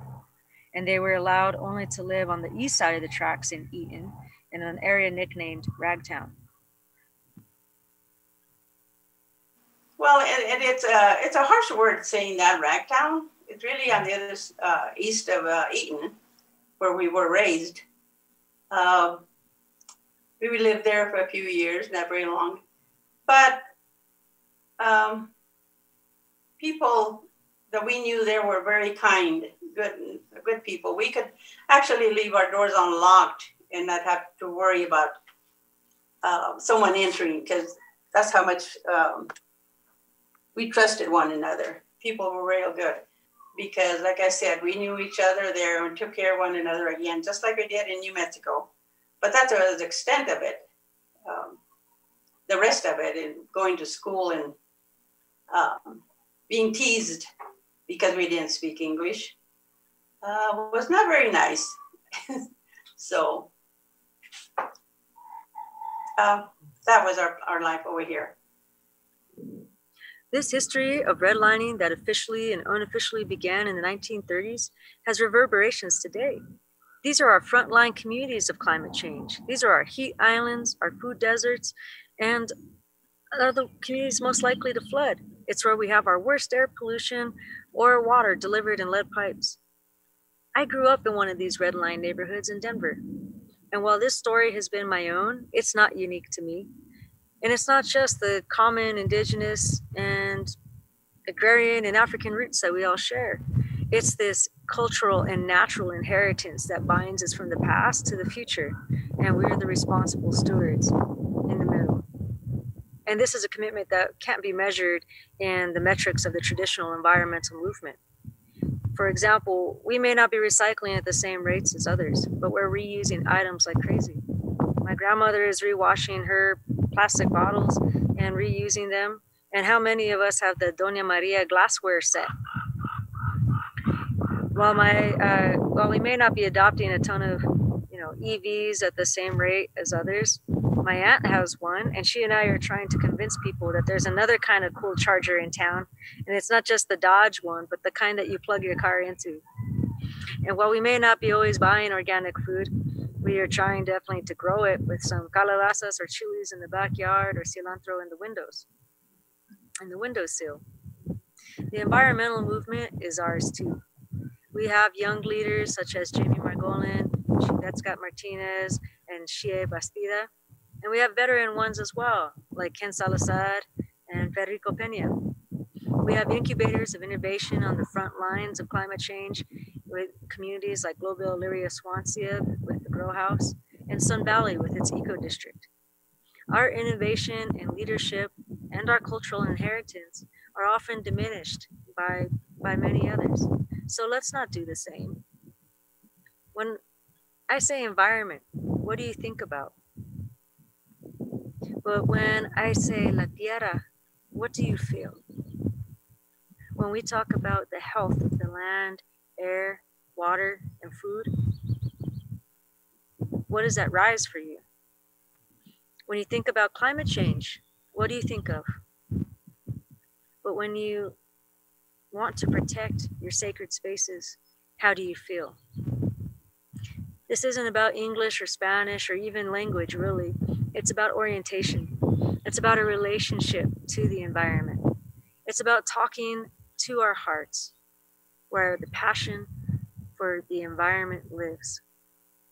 And that's where it's also longer lasting, it's deeper, and it's broader reaching. And that's really good because the time is really short and the need is too great to continue to rely on the same cohort of environmental champions that we've had to date. This has to be a people's movement. And to be a people's movement, it has to live in the heart. It's time for us to stop being spoken to about climate change and to engage in the conversation, to speak up ourselves. There's strength in our relationship to the land, air, water, and to our ancestors, and our commitment to future, generations and to the places that we cherish. There is wisdom in what abuela ya sabe, what grandmother already knows. And it's also has wisdom in how we heal our bodies, our minds, and our spirits. We have to give ourselves permission to own our own story, our indigenous, our black, our agrarian roots, because this is our querencia, our inheritance for a love for the land. This is our strength, and Madre Tierra needs this strength. Our ancestors, young and future generations, are counting on us. It is their call that we will answer because that is who we are. And if we want to stop climate change, we have to start with the heart. Wow, that's so beautiful. Madre Tierra learned so much from Larissa and her grandmother. I'm so glad she got to join her in helping us just impart so much wisdom and connecting to our environment really does lie in each of our hearts in different ways. And I, I think we all be looking at our relationship with the environment through a new lens, thanks to that perspective. Thank you both so much. Let's go ahead and move on to another poll. I've got a poll question for you here. Have you ever thought of yourself as a climate justice warrior?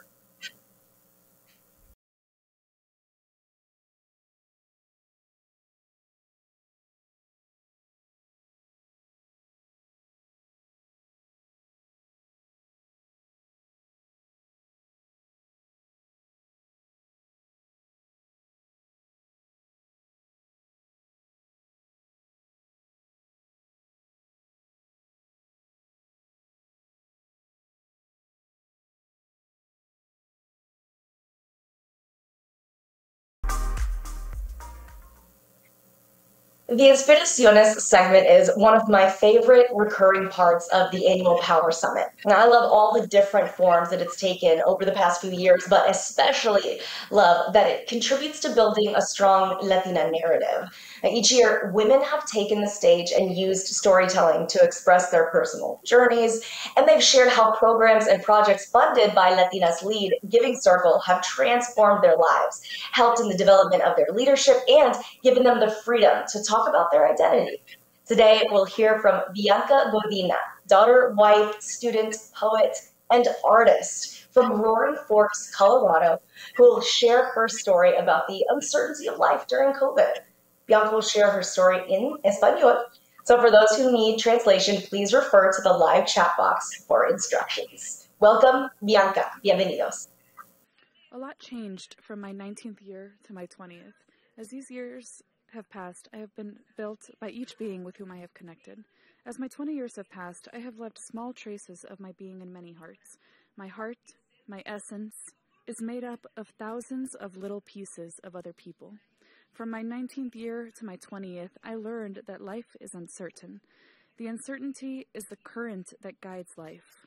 I spent years living within the uncertainty that makes up anxiety, worrying about the what ifs and of the future that was to come.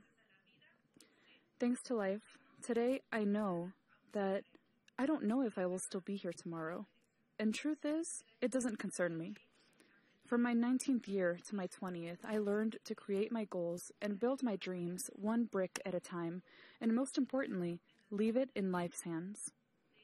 From this life, I have learned to live my life one moment at a time because when I break down my expectations one by one, I allow myself to grow and I open the door to many unexpected surprises.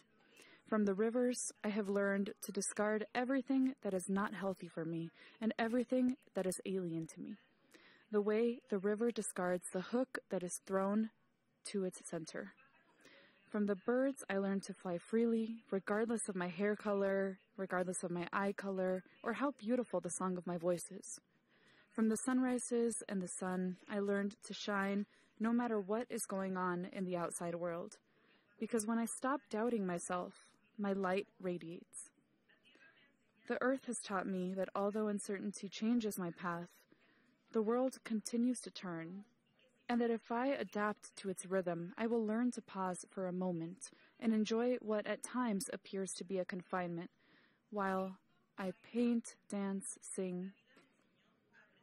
Life has taught me to appreciate all of the little pieces that make up my being. The love of my life told me that he began to believe in love at a distance because I always say that 1,000 kilometers dwindle when two souls are joined. If only he knew I learned to say I love you when I met him that the luxuries, the money, or any distance don't matter as long as you can share some good burritos negros at the foot of the river with the love of your life. My mom says she learned patience and confidence in herself from my grandpa Joel. And if she knew that thanks to her I aspire to be the patient mom that all of my life has answered my and what ifs, and what is that? Does it exist? And that thanks to her, I know that life only presents you with one opportunity to make great decisions, and that if today my husband laughs with me because I snap my fingers to the sound of a good melody, it is because of her. Thanks to my dad, today I have my concentration face, or I stick out my tongue when I play basketball or when I paint my nails, because a little more lip always means more precision. From my dad, I learned that people enjoy, visit, and love each other in life. And from my brother in law and my sister, I learned that there are little angels who come to teach us what it is to love and to have unity without being present in flesh and bone. My sister used to say that music speaks for people. And today I know that if I am willing to open my ears, even the wind's breeze will sing me its song. My brother said to leave the best of me wherever I step. And today, Empathy is one of my greatest allies. My grandma taught me, without saying a single word, that we must love and respect nature. If only she knew that thanks to her actions today, I am creating my own space to have my vibrant colored plants, and that because of her today, I give a bit of my affection to every homeless puppy I see in the street. My uncle Alonso used to say, Thanks to my Father God, when he pushed away his plate, signaling he had finished. And today, I know that if I lie down for a moment on a sidewalk, at the plaza, or the shore of the river, and I enjoy the gifts God has given me, I will be more grateful and a little bit closer to Him. I am a mosaic. My heart has been made up of thousands of little pieces. But the beauty that I have today is thanks to each gift of themselves that other people have given me. Otras personas me han brindado de sí mismas. I love it when someone else can articulate feelings and emotions that I have, but maybe aren't able to communicate clearly. Thank you so much, Bianca. Kristen, hasn't this been such an incredible summit so far? It really has been, Lori. So, why the need for the Latino Community Foundation and the Latinas Lead Giving Circle? Well, the Latino community is and has always been a very generous community, mm-hmm. a community of givers and philanthropists. We give our time, talent, and treasure daily. We give to our neighbors, friends, or families here in the state and back home. That's absolutely right. And the Latina Lead Giving Circle is powered by you through your small personal donations, and every contribution counts. Mm-hmm. The Giving Circle is just one way to be part of something bigger than ourselves. It's an easy way to actively engage in helping to build a stronger Latina community. And look, we know that this has and continues to be a challenging year for you and for Latino families everywhere. But it's exactly at these times that we all always come together collectively, and that's what we need to do here because together we're stronger. So today we're mm-hmm. asking you and our community of Latinas and allies to join us by giving whatever meaningful amount you can. Every single dollar counts, and every single dollar donated will go directly back into the community to small nonprofits that are work that are committed and working hard to support and strengthen our community's need and prioritizing leadership development for Latinas through their projects and their programs. All of that sounds amazing, Lori. And I think we can all agree, right, that after the year we had, we all deserve a little treat, right? Listen, I sure do. Lori, I know you do too. We mm-hmm. all deserve a treat. So today I ask you to treat your heart and treat your community instead of that expensive cafecito or those new hoop earrings, although I could, I do deserve another pair. Or that, red, or that red lipstick. How many shades do you have already, right? You can consider donating to the Latinas Lead Giving Circle and skip those new shoes you were going to buy. Just this once. We yeah, want to invite each of you to be part of this journey to empower and support Latinas across Colorado. And remember, the first 100 of you who donate will receive that beautiful one of a kind Somos Divinas sticker, along with the gratitude of hundreds of Latinas across the state mm-hmm. who will benefit from your generosity and be able to receive support that advances their leadership through your donation. Plus, Kristen and I are going to be really, really grateful to you. I want that sticker. Go now to latinocfc.org forward slash donate. Together we can make a difference. Together we can build Latina power. Woo, which is why we're here, right? Build that power. Oh my god, sorry ladies, I was looking a little busted in that video, but you know, you can't be great every day. What an inc- incredible show this has been, right? And guess what, ladies? It's not over yet. Next, I want to introduce you to another super creative and innovative segment to the Power Summit TikTok style videos. Yep, you heard me. TikTok. You know, you know that social media app, right? Where you can post videos of dance, music, tutorials, just funny stuff, anything you really want. For this segment, LCFC has partnered, partnered with Gen Z Latina Changemakers who will demonstrate how their generation is putting a personal spin on impacting change in our community. Join me now in helping amplify Gen Z voices from our Latino led nonprofits and Hispanic serving educational institutions. Hello, everyone. My name is Adriana, and I'm with Padres y Jóvenes Unidos. Welcome back to another episode of True or False. True or false? Zero tolerance policies that encourage harsh disciplines in schools push black and brown students out of schools at a disproportionate rate compared to white students. This is true. During the 2018 and 2019 school year, black students were 3.2 times more likely to be suspended than their white peers. And during the same school year, Latinx students were 1.7 times more likely to be suspended than their white peers. True or false? Students attend school with insufficient mental health resources. This is also true. 1.6 million students attend a school with school police, but not a counselor. Black and brown students need a school system that adequately addresses their needs. This includes better counselors, quality and relative educational content, and educators that care.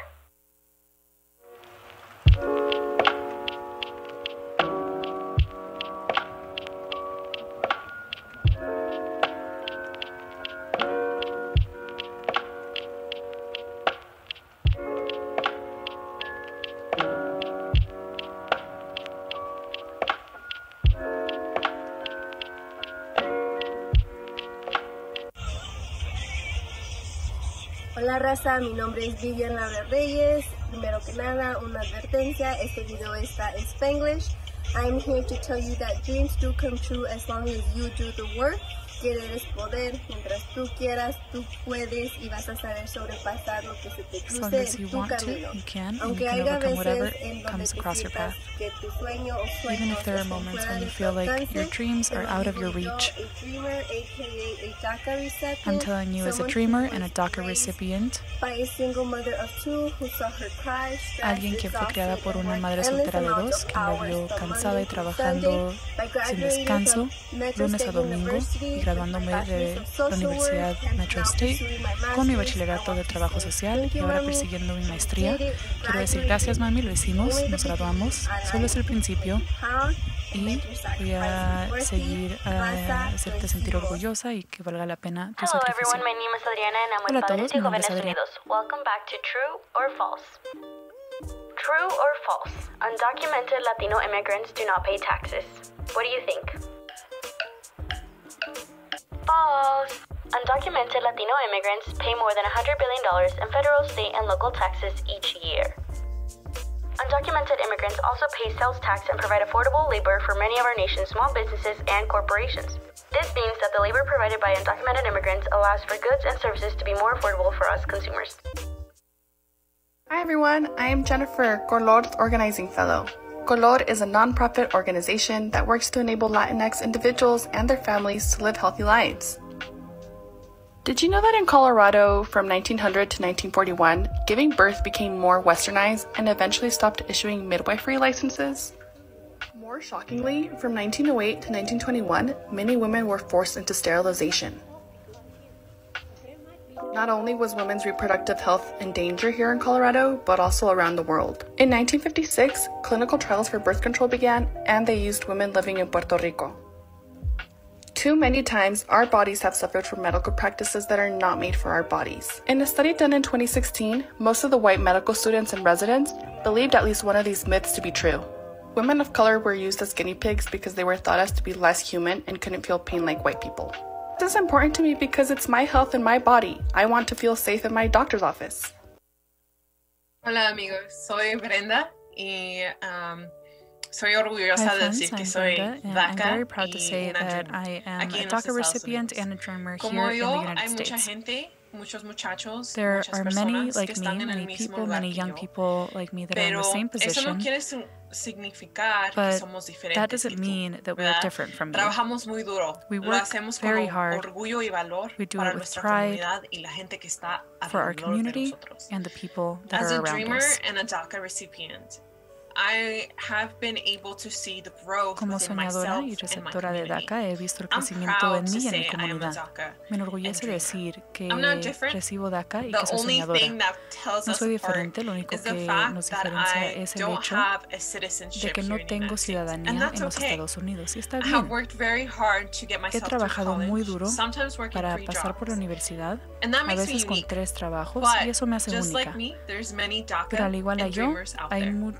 Also, you know, as a DACA dreamer, things haven't also been easy Como all. soñadora, las Um, cosas when no I han sido nada fáciles. was Cuando me di cuenta de que yo um, era I remember being in indocumentada, me, high school and all eh, my bueno, recuerdo haber estado en um, la preparatoria. to colleges and you know being able to um, go home and tell mom and dad, hey, look, I applied to this or that, um, to different colleges that I wasn't able to do.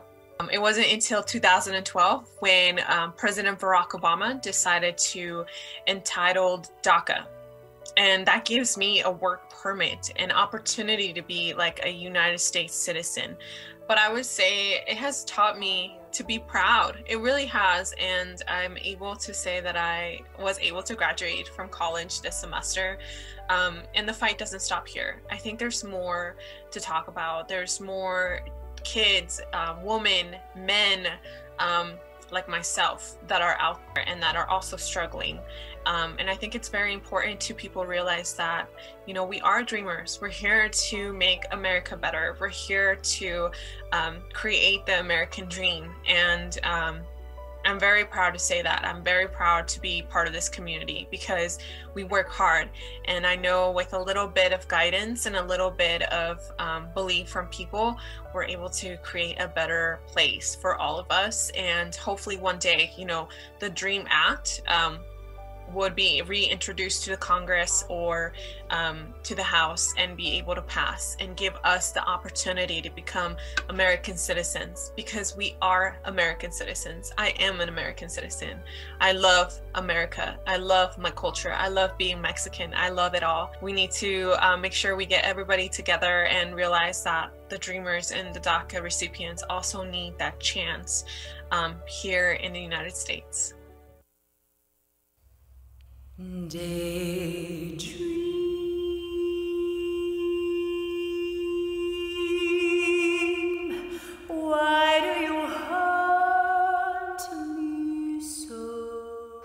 Love is presence. So thank you for allowing me to be in your presence and hopefully be in love, find romance in the various aspects that life gives us, the various aspects of, of opportunity that we have. Daydream,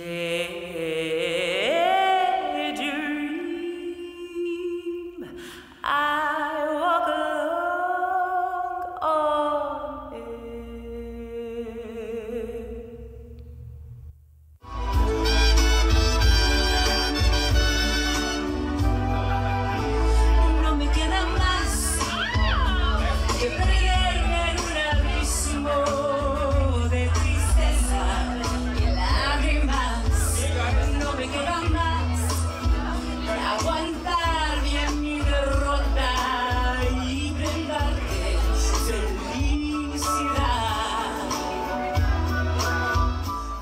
My mission is to elevate the accurate and relevant portrayal of Latinos in the media and to amplify, clarify, and magnify the voices of the marginalized in any way that I can.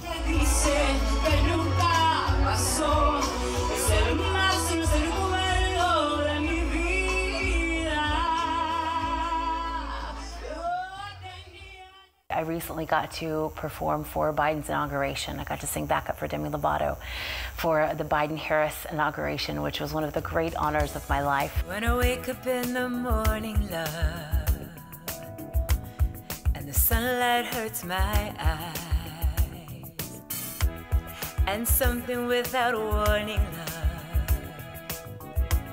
bears heavy on my mind. Then I look at you, and the world's alright with me. Just one look at you, and I know it's gonna be a lovely day.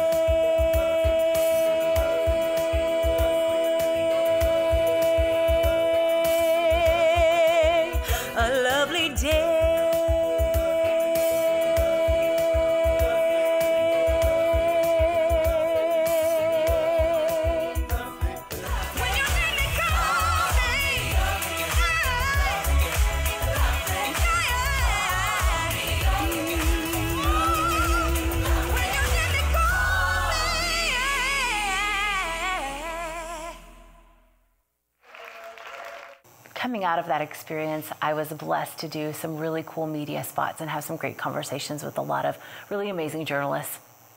And one of my favorite questions that I got to answer was, you know, what was the significance of, you know, of that experience in terms of kind of sharing that with the world? And it was just so exciting because I got to share with the world that this is what Latina looks like. This is what Oklahoma's Oklahoma looks like. This is what an Oklahoman looks like.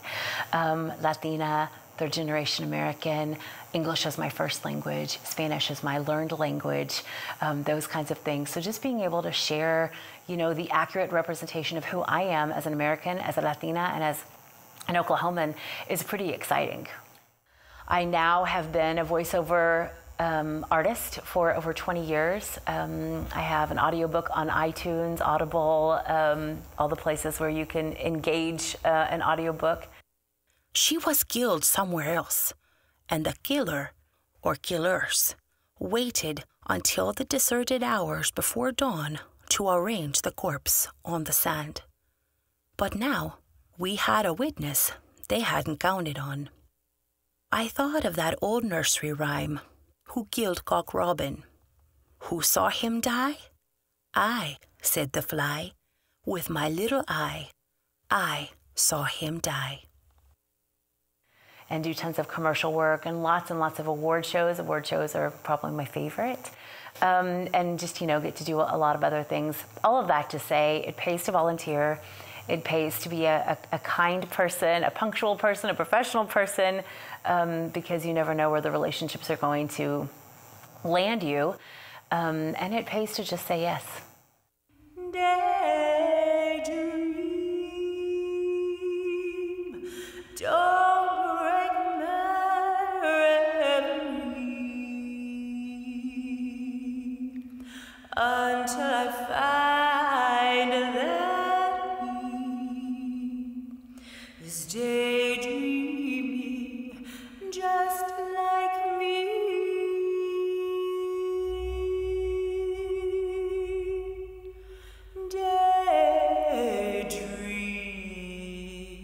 So at the tender age of 39, I found myself, um, after going through my own personal health challenges with my diabetes, as well as extreme um, conditions regarding stress. I was a caretaker for my sister who was in a coma for quite some time.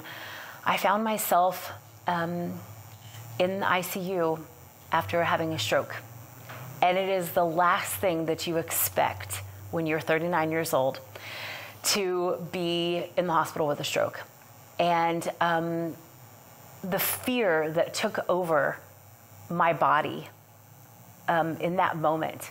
And it may sound vain, and, and I'm okay with being transparent about that very real fear.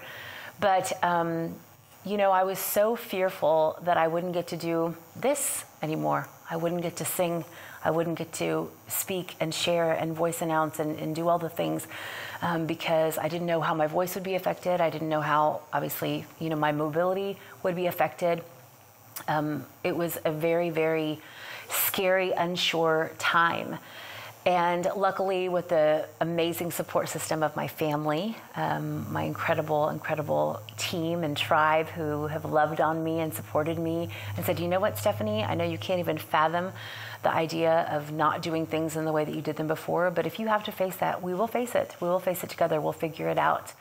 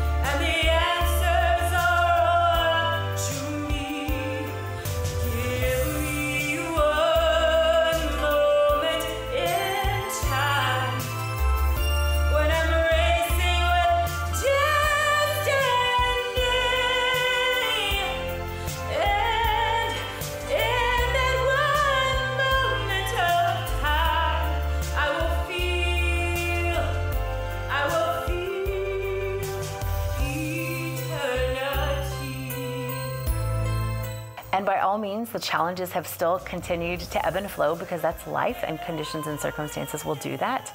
But I have never been happier than I am now once I made that commitment to my happiness.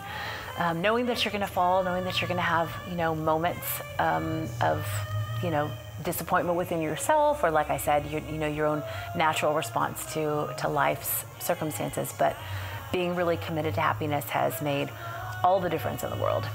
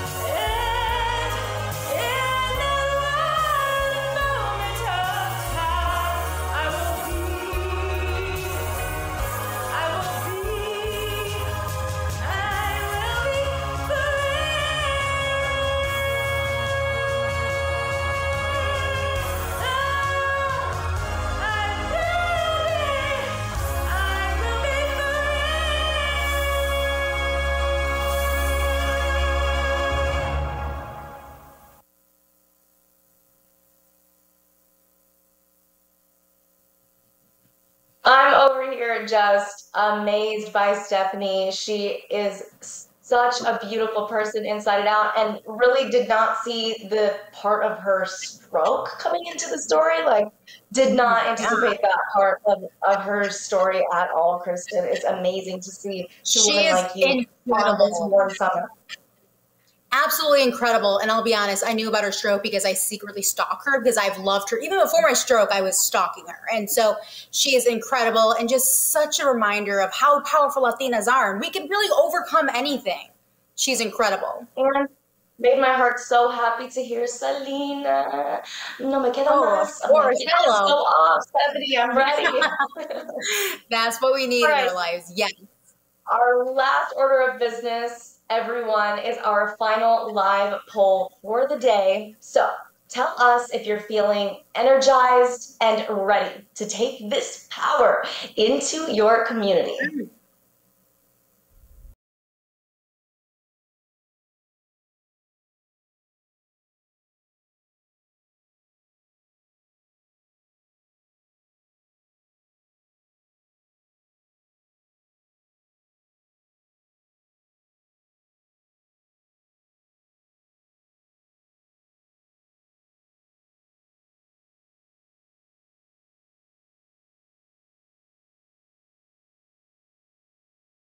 Lo hicimos! We did it!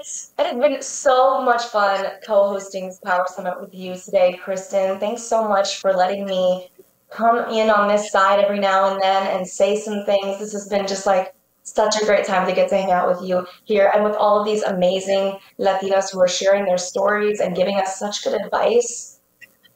Well, Lori, what do we always say? Better together. This was such an amazing experience and it was only made better having you by my side, per usual. I've been so empowered and uplifted, and I really hope you guys have been too. I was able to see myself in every one of our speakers, reminding us that Latinas are so strong and we have purpose, and it's to embrace and empower and uplift our community. So I'm ready to go out there and make some change. That makes me happy and it's so incredible to hear like you said a little bit of ourselves in each one of these women's stories and while we're all so different there are also so many things that connect us and that feels so good to know that you have a community that is really in the fabric of who we are what we go through what we experience we're so not alone and that's what makes something like this this morning with all of you so special. Just reminds me how big our community is. Latinos are so strong. We are so powerful. We are so capable. Mm. But we are, like you said, Kristen, so much better together. And I'm so glad we have Better this together. community of Latinas here. You and all of the women who are making this possible, all of the women who spoke today, and everybody else who joined us just to get to be a part. 1000%. I mean, we're all family, right? That's how I feel every time I see a Latina. I'm like, oh, she's based probably my cousin. We're all one big family here to support and love each other, and we just need to keep doing that in our community and make change. This has been so much fun, Lori. I'm so glad we're able to do this together. Ay, Dios, me too, Kristen. Thank you so much. And thank you again to the Latino Community Foundation of Colorado for making this possible, yeah. for all the work that you do on this, but also just the work that you do in Colorado all year round. You guys are incredible, and we love this summit, and we love this foundation. Thank you all for having us, and thanks for joining us. Thanks, guys. Bye. Adios. Thank you for joining us at the 2021 Latinas Lead Virtual Power Summit. We hope our program has inspired you, sparked curiosity, and ignited your desire to apply some of today's learning and strategies to advance your personal and professional leadership. To share or replay this program, please visit us at latinocfc.org forward slash Power Summit Live beginning June 20th. You're only a few clicks away from resources, incredible content, and an online community available to you throughout the year. Follow us on Facebook, Instagram, and Twitter using the handle at LatinoCFC. Community driven and powered by your small personal donations, the Latino Community Foundation of Colorado will continue to strengthen the leadership development of Latinas so they can drive social change. Until we can gather in person next year, recuérdense que todas somos divinas.